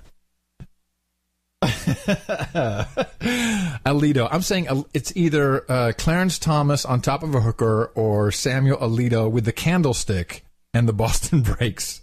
we'll see. But the one that really is probably the closest to uh, being too old is is definitely Kiki. Kiki Ginsburg. Yeah, that's that's what her nickname is. Is a lot really of people Kiki? don't know that. I did not know that. Yeah, I didn't know her name was Kiki. That's funny. yeah, Kiki. Hmm. Um, a good friend of hers told me that years ago. I always thought that was weird that no one's ever picked it up. So I have a, a couple of a, a a very funny clip that just kills me. It's Claire McCaskill doing a, it's, it's C-SPAN uh, doing an investigation of robocalls, and this is the Claire and Rachel clip. And who is Claire McCaskill? Claire McCaskill is the woman that was supposed to be run out of town by the Republicans, but then they had the guy that ran against her is she's senator, a douchebag who went on about legitimate rape or something stupid, and they couldn't win anyway. So she's running this this investigation. I think this is pretty funny. Fraudulent robocalls have since filled the void and have become the source of understandable anger and frustration among the public. These automated, pre-recorded telemarketing calls that often seek personal information from unsuspecting consumers are an annoyance at best, but they can be devastating for those that are defrauded by them. It's easy to see how consumers can easily be confused by these calls. One common scam involves a call from Rachel from Cardholder Services, Mm. offering an easy way to reduce consumers' credit card interest rates. Hello, this is Rachel at Cardholder Services, calling in reference to your current credit card account. There are no problems currently with your account. It is urgent that you contact us concerning your eligibility for lowering your interest rate. Your eligibility expires shortly, so please consider this your final notice. Please press the number one on your phone now to speak with a live operator and lower your interest rate, or press the number two to discontinue further notices. Thank you.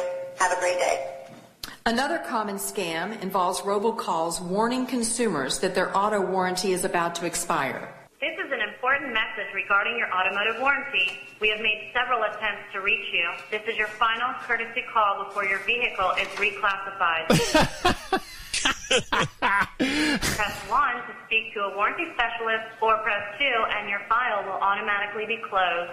In both examples, with the press of a button, the consumer is directed to an individual whose job it is to collect financial information in an effort to defraud them.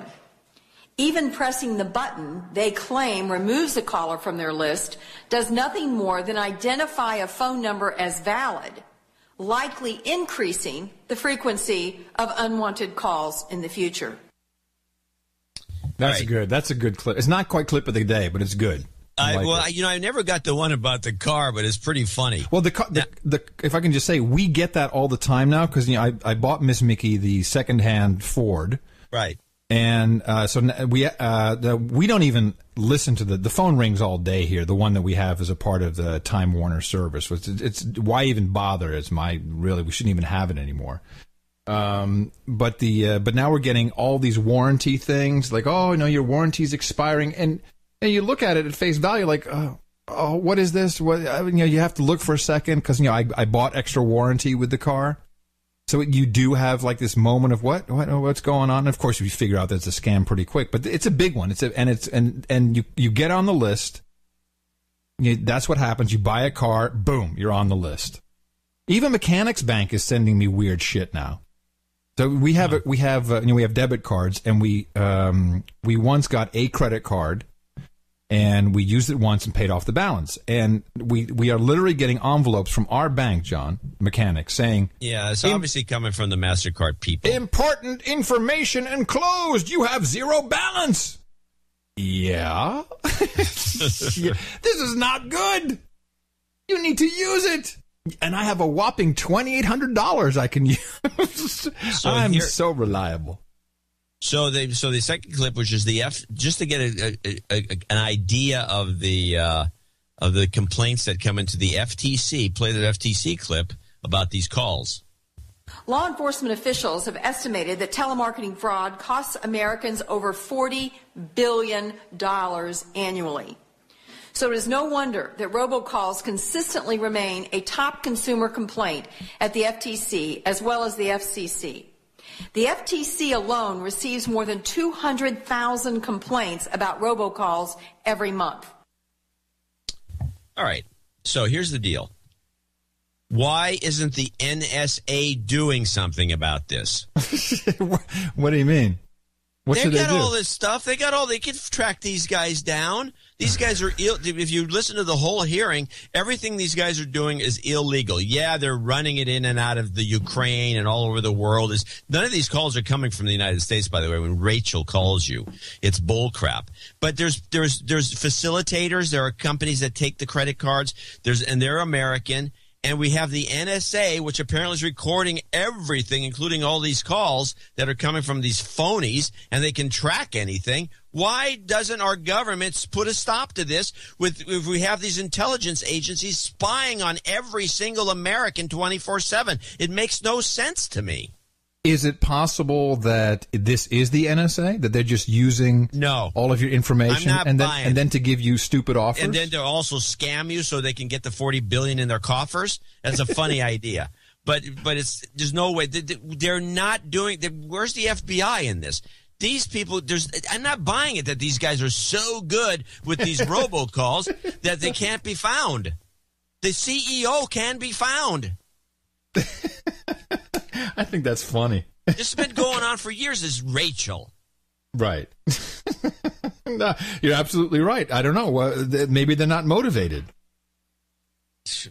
You tell me. What do you think? Ah, maybe you got to convince them that Rachel's a terrorist. Hmm. Well, they sure are. I'm, I'm trying to. That'd be kind of funny, actually. I, for some reason, I can't get it to work. I think our phone is busted.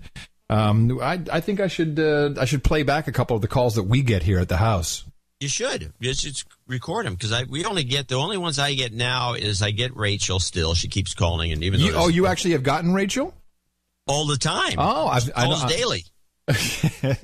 Oh, you should talk to her a little while. And it says right on the caller ID, card services. Card services, yeah. I just lift and hang. I mean, I don't even pick it up. I just hang up on them. You know, I got on a I got I'll on a list. I, I got sold around, and so whenever two o two calls me, I know not to answer. Um, in fact, I bet you I can play a two o two if you're interested. when you answer the phone, go. This call may be recorded. for, for what's the, what's the words they use for customer safety assurance or something? Uh, for your um, for customer, um, I don't know what do they call it. Uh, I don't know when they do that though. I'm going to. Uh, I think I'm going to do that. Well, this call may be recorded. So I got on a list probably when I interviewed Ron Paul. Oh And- yeah, that would make sense. And that is how long ago? Two and a half years. Oh, more than that. It was the no. It was the 2008 election. Oh, it was then. It was that long ago. Right. So uh, this is July 3rd, 2013, from a 202 area code, which of course is Washington D.C. Hey, Adam. Hey, Adam. Corey Hubbard with the Coalition to Reduce Spending, giving you a call to follow up on that letter from Peter Schiff. Um, we're P- I never got a letter from Peter Schiff, by the way. Peter Schiff. I know. Listen to Guy. people that used to work for Gary Johnson back in when he was running for president in O in 2012. And we got your name. We thought you'd be interested in what we're working on now. And I'm going to be out in San Francisco in two weeks. And wanted to see if you could spare 20 to 30 minutes to sit down with me briefly so I could talk to you about some of the really exciting things we're working on for this coming year. My number is 202 So wouldn't it be funny? I'm going to This pick was up. a robocall, right? No, this is a real person. Oh, she was actually telling you this, and she's leaving a message on her machine. Yeah, this is a message Oh, on the machine. okay. Yeah, yeah, yeah. eight one two eight eight three. I'll follow up via email and hope to hear back from you. Again, I'll be out there in two weeks and would love to get your ear for a few minutes. I should- Thanks, Adam. Uh, hey, I want to call her back and go, hey, hey, could you take off your dress? what are you doing for what dinner? Are, what are you wearing right now? she, she doesn't he doesn't he have kind of a kinky, sexy voice? yeah, yeah. Listen, listen. Hey, Adam. Hey, Adam. Corey Hubbard with the Coalition to Reduce Spending, giving you a call to follow up on that like a hippie chick voice, No. maybe. Yeah, well, th- th- but wait, listen for a second. Schiff.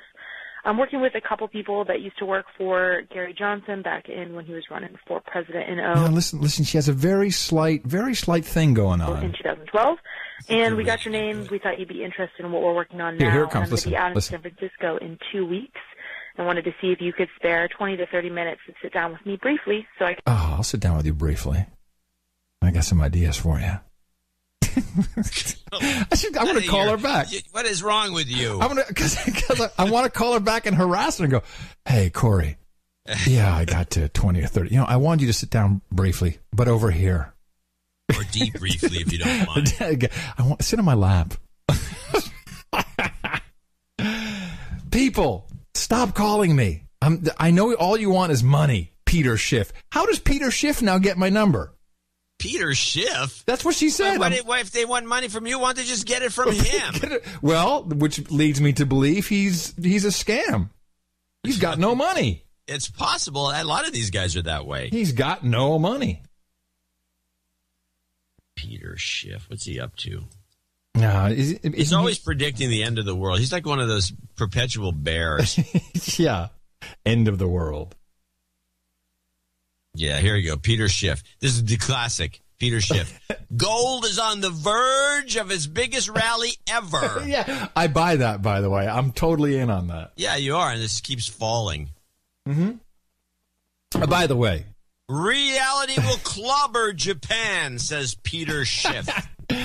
I do want to make very clear that I love my wife and that I need no other sex but sex from her.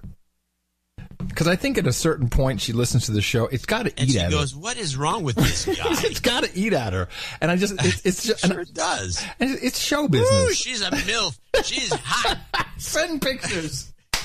What is Send wrong pictures. with what is wrong with Send my husband? Something's wrong with my husband. Uh.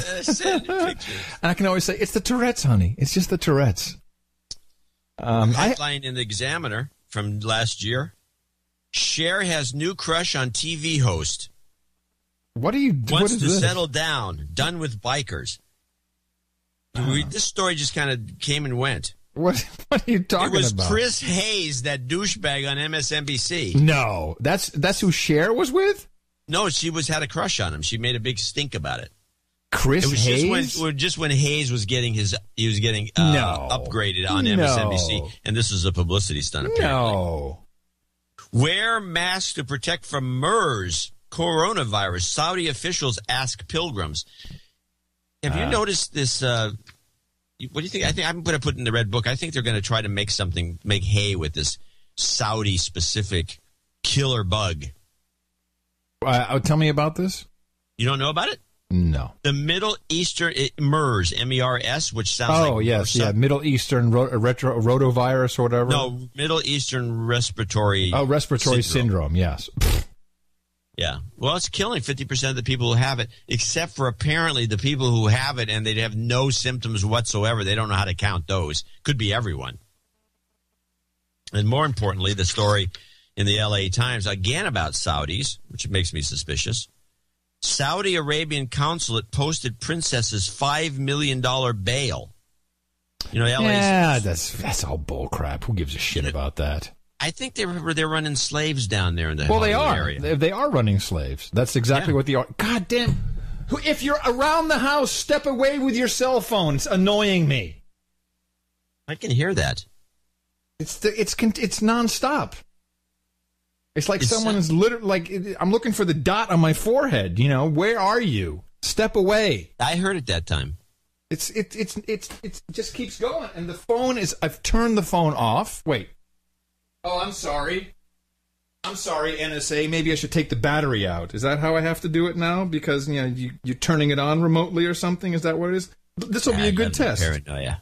Yeah, Take, take the battery out. I'm going to right now. Let's take. Let's see if it stops. Hold on. Okay, battery is out. Let's see if it ends. That would be pretty f- funky, wouldn't it? I think it'd be great. okay, battery is out, and I'll let you know if I hear anything. I've got the battery. so anyway, yeah, they're running right there. slaves. These Saudis. Hell yeah. So my Um, favorite line was apparently some woman from the, some black woman. She goes once you get into Saudi Arabia, they tear up your passport and do all these things. Yeah. It's just hilarious. Uh, now, there's something you asked me Don't to put, marry a Saudi women. There's something you asked me to put in the show notes about the uh, the Chinook helicopters flying over Port oh Angeles yeah, Port Angeles had an invasion by, by so the Mimi U.S. Army. By the U.S. Army, I might point out. Mimi calls me up during the invasion, and I can't hear a word she's saying. The choppers are so loud. I mean, she says, "Can you hear that? I can. I can hear that better than I can hear you." It was. It, there, there was apparently a bunch of uh, Chinooks and Apaches, and some jets flying over in a circle around Port Angeles in the area. Mm-hmm. and it was they never called the local authorities. They got something like 250 phone calls, even though all the news report says a dozen, which is bullcrap because everyone was calling and apparently it was so loud. Dogs are barking and going crazy, and there's just and then the army finally turned out to be one of their facilities deciding to do training over the town, which would And we forgot to tell all the citizens of the world, "Hey, we're going to be flying around scaring you." and it was at like 11:30 to 12 midnight. Can I point out that the uh, f- phone interference has stopped since I took the battery out of the phone that was turned off? no, no. This is this is a very significant discovery. um, hold on a second. Let's put it back in. I had the phone off. Yeah. The phone you say was off, yes. Well, no. I mean, it, the power was down. Now I'm going to put the You bat- had it t- turned off. Yes, and I put the battery back in. Let's see what happens. See if it comes back. Okay, I'll put it over there. Yeah, well, this of course has been going has been ongoing. We've seen it in Florida. We've seen it uh, in many different states, uh, in the Midwest, and it's all it's obviously it's all um, to condition you for the coming apocalypse. Or conditioning for s- a crackdown. Yeah. No. there's plenty of place, you know, especially in the Pacific Northwest. If you want to just fly around like an idiot, uh, w- wasting probably a million dollars in taxpayers' money over the town of Port Angeles, you can just move south a little bit, and it's just all woods. There's nothing. Uh, it, much of Washington State is is very empty, and you can do it there. Oh, oh, Did you hear it? No, It's back. What kind of a phone do you have? Uh, uh, That's a, a a note, a Galaxy Note. Maybe it's just shorting out. No, it's the it, the transmitter is it is transmitting. But the, you can't. It can't be transmitting because you've got it turned off. And you Listen, just put the battery shh, be quiet, be quiet, be quiet. I'm, I'm telling you, it is now transmitting again. It is not turned on, and it's transmitting. What does that tell you? Yeah, tells me a lot. Believe me. Hey, let me turn. Oh, there it is. Oh, there you go. Perfect. All right, so this phone is off. Okay, I'm holding it now near the microphone, and I'm going to take and uh, uh, people who and you maybe couldn't hear it through the Skype, but now I'm going to take the battery out again. So clearly, you know, this is what they always say. It's like even if your phone is off, they can turn it on, they can listen to it. It's transmitting your. Yeah, you hear it? What? Did you hear it? And now I just took the battery out, so now it should be gone. Yeah, there you go. Big joke. Very funny, guys. Ha ha ha. Well, wait a minute. If they want to hear anything, why don't they just get to go on the No Agenda stream and yeah, they can hear everything. And you then- got a huge microphone. And do- and donate. yeah, and donate, cheapies. That is that is that's just crazy. It's transmitting. Well, this is Android, of course. You know, it could also just be for advertising purposes. It's Google. It's a holes. This is this is this is why I'm I'm not carrying a phone anymore. But not but I, I can't even have it on during the show because it has to or off during the show because You can't even have it off during the show. yeah, I have to take the battery out. Really, that's quite. well, annoying. one of these days they'll put some mercury batteries in there as backup, and then this thing will always work. Well, I'm not gonna. I'm I'm I'm opting out. I'm not participating in it anymore. I'm really not. Bull crap. I have not been carrying this phone around for ever since I told you two weeks. Yeah. I have I have not used the phone. I'm not taking it out. I go I've out been without doing that for years. I very rarely use my cell phone. yeah, but do you take it with you? Sometimes, maybe. If I forget it, it's no big deal. Right.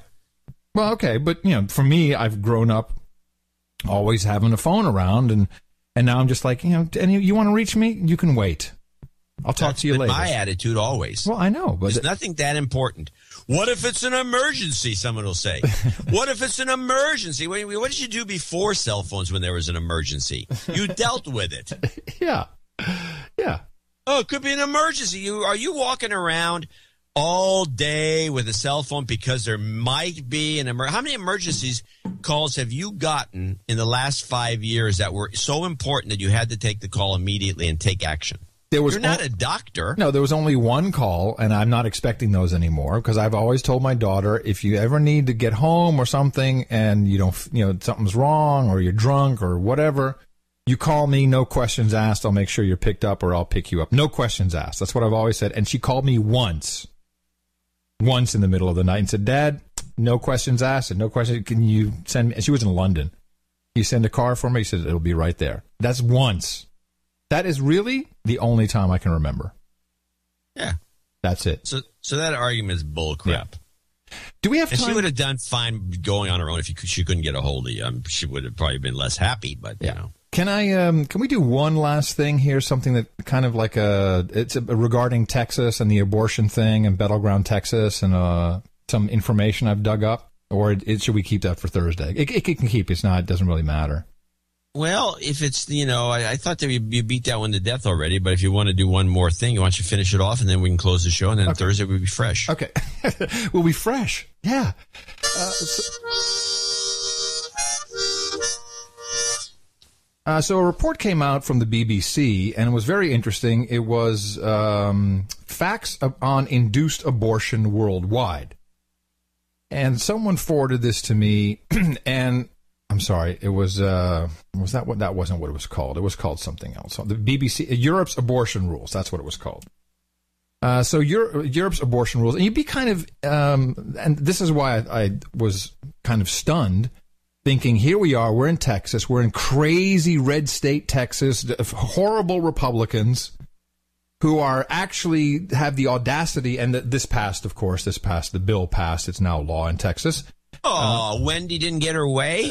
Wendy didn't get her way.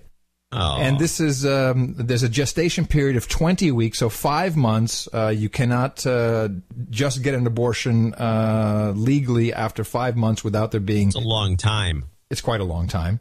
Uh, without there being, you know, of course, um, uh, uh, danger to the mother, severely disformed, whatever, child will have no life, rape, incest, all that stuff still is on the books. But it was 20 weeks and then the um, you know the whole making clinics very difficult to stay open, which is just an extrapolation. Uh, as of course we know, this is probably for Rick Perry's uh, sister, who was going to open up new clinics, which will do this for ten times the amount of money. But that's not what this is about. I was very uh, surprised to read the rules uh, in EU countries. Um, so I'll just go through some briefly. Austria uh, availability on request, uh, but um, 12 weeks is the gestation period there, uh, or gestation limit. Belgium, 12 weeks. A woman must a woman must say she's in state of distress.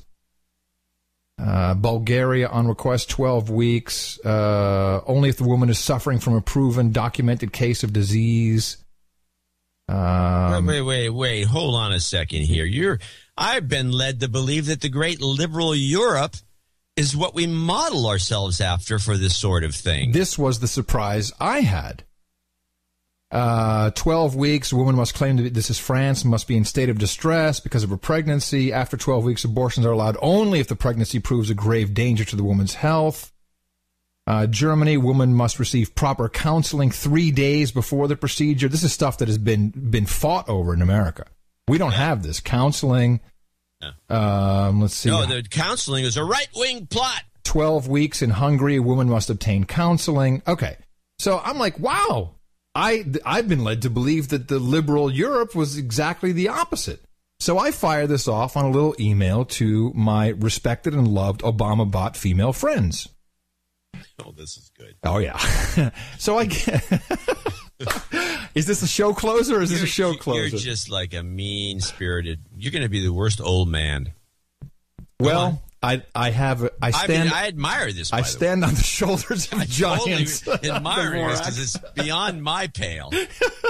I'm telling you, I stand on the shoulders of giants, John. Looking at you.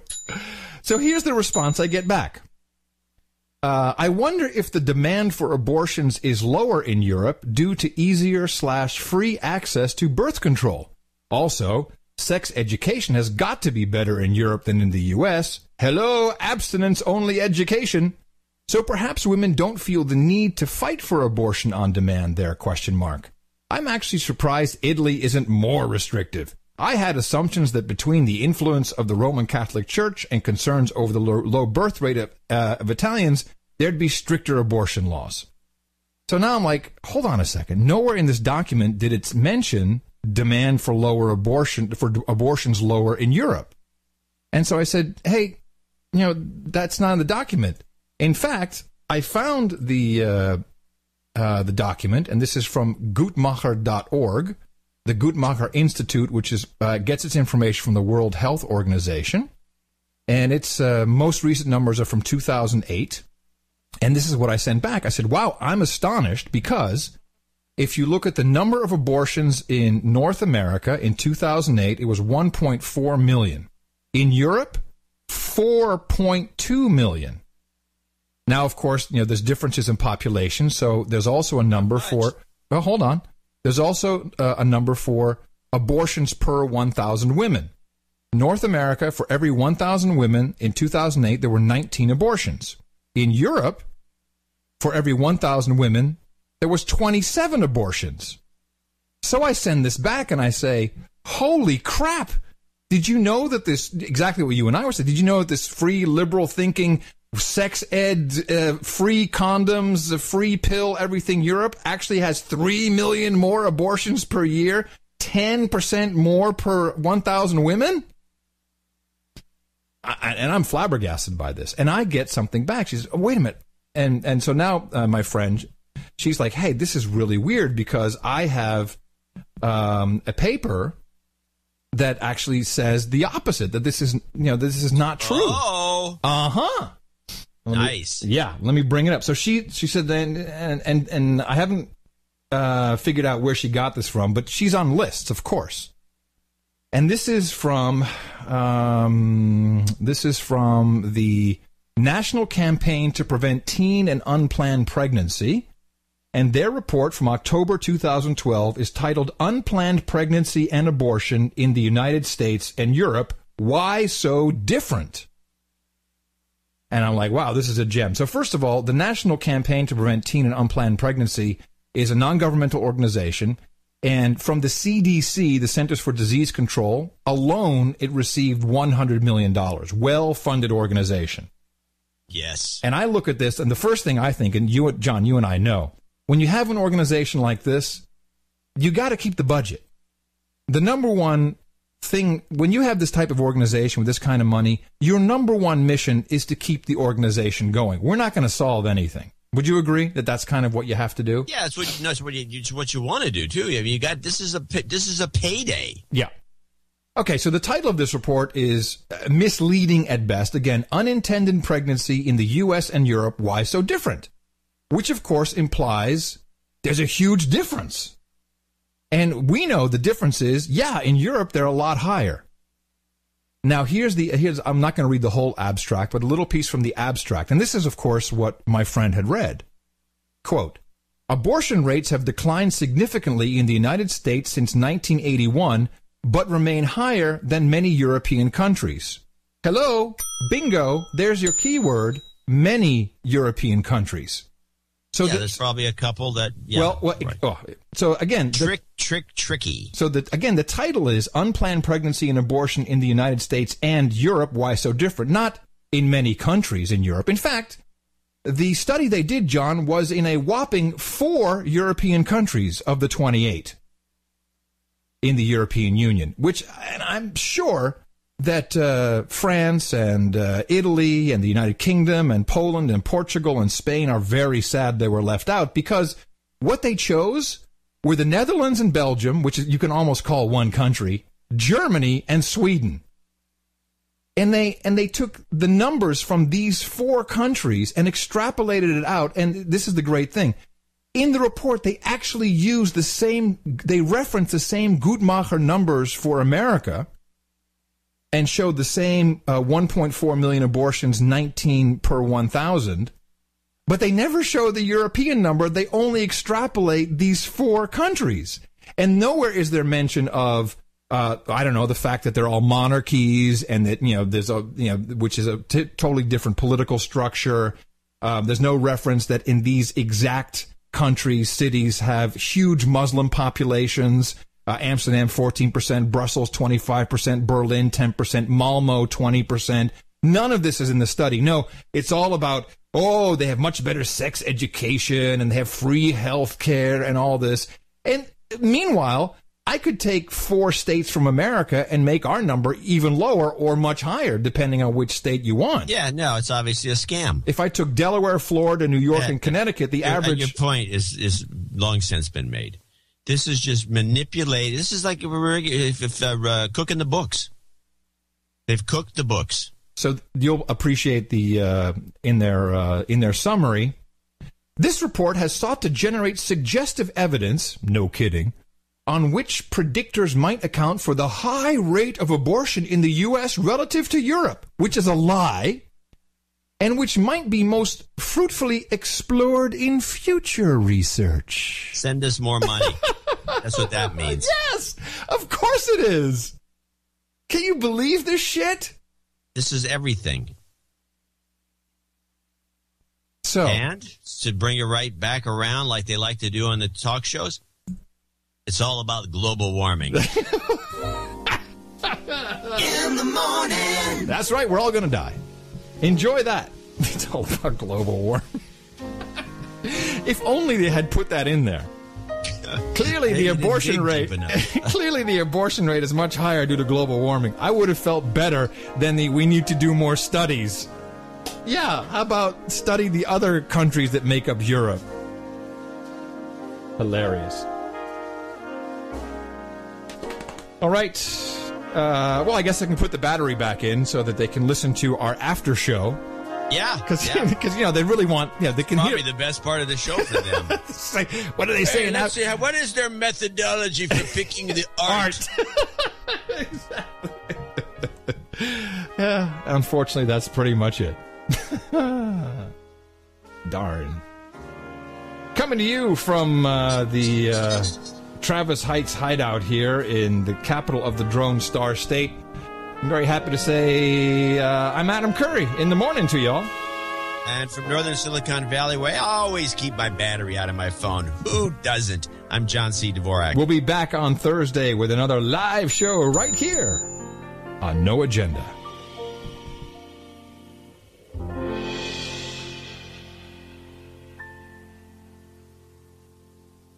The best podcast in the universe. Dvorak.org slash N-A.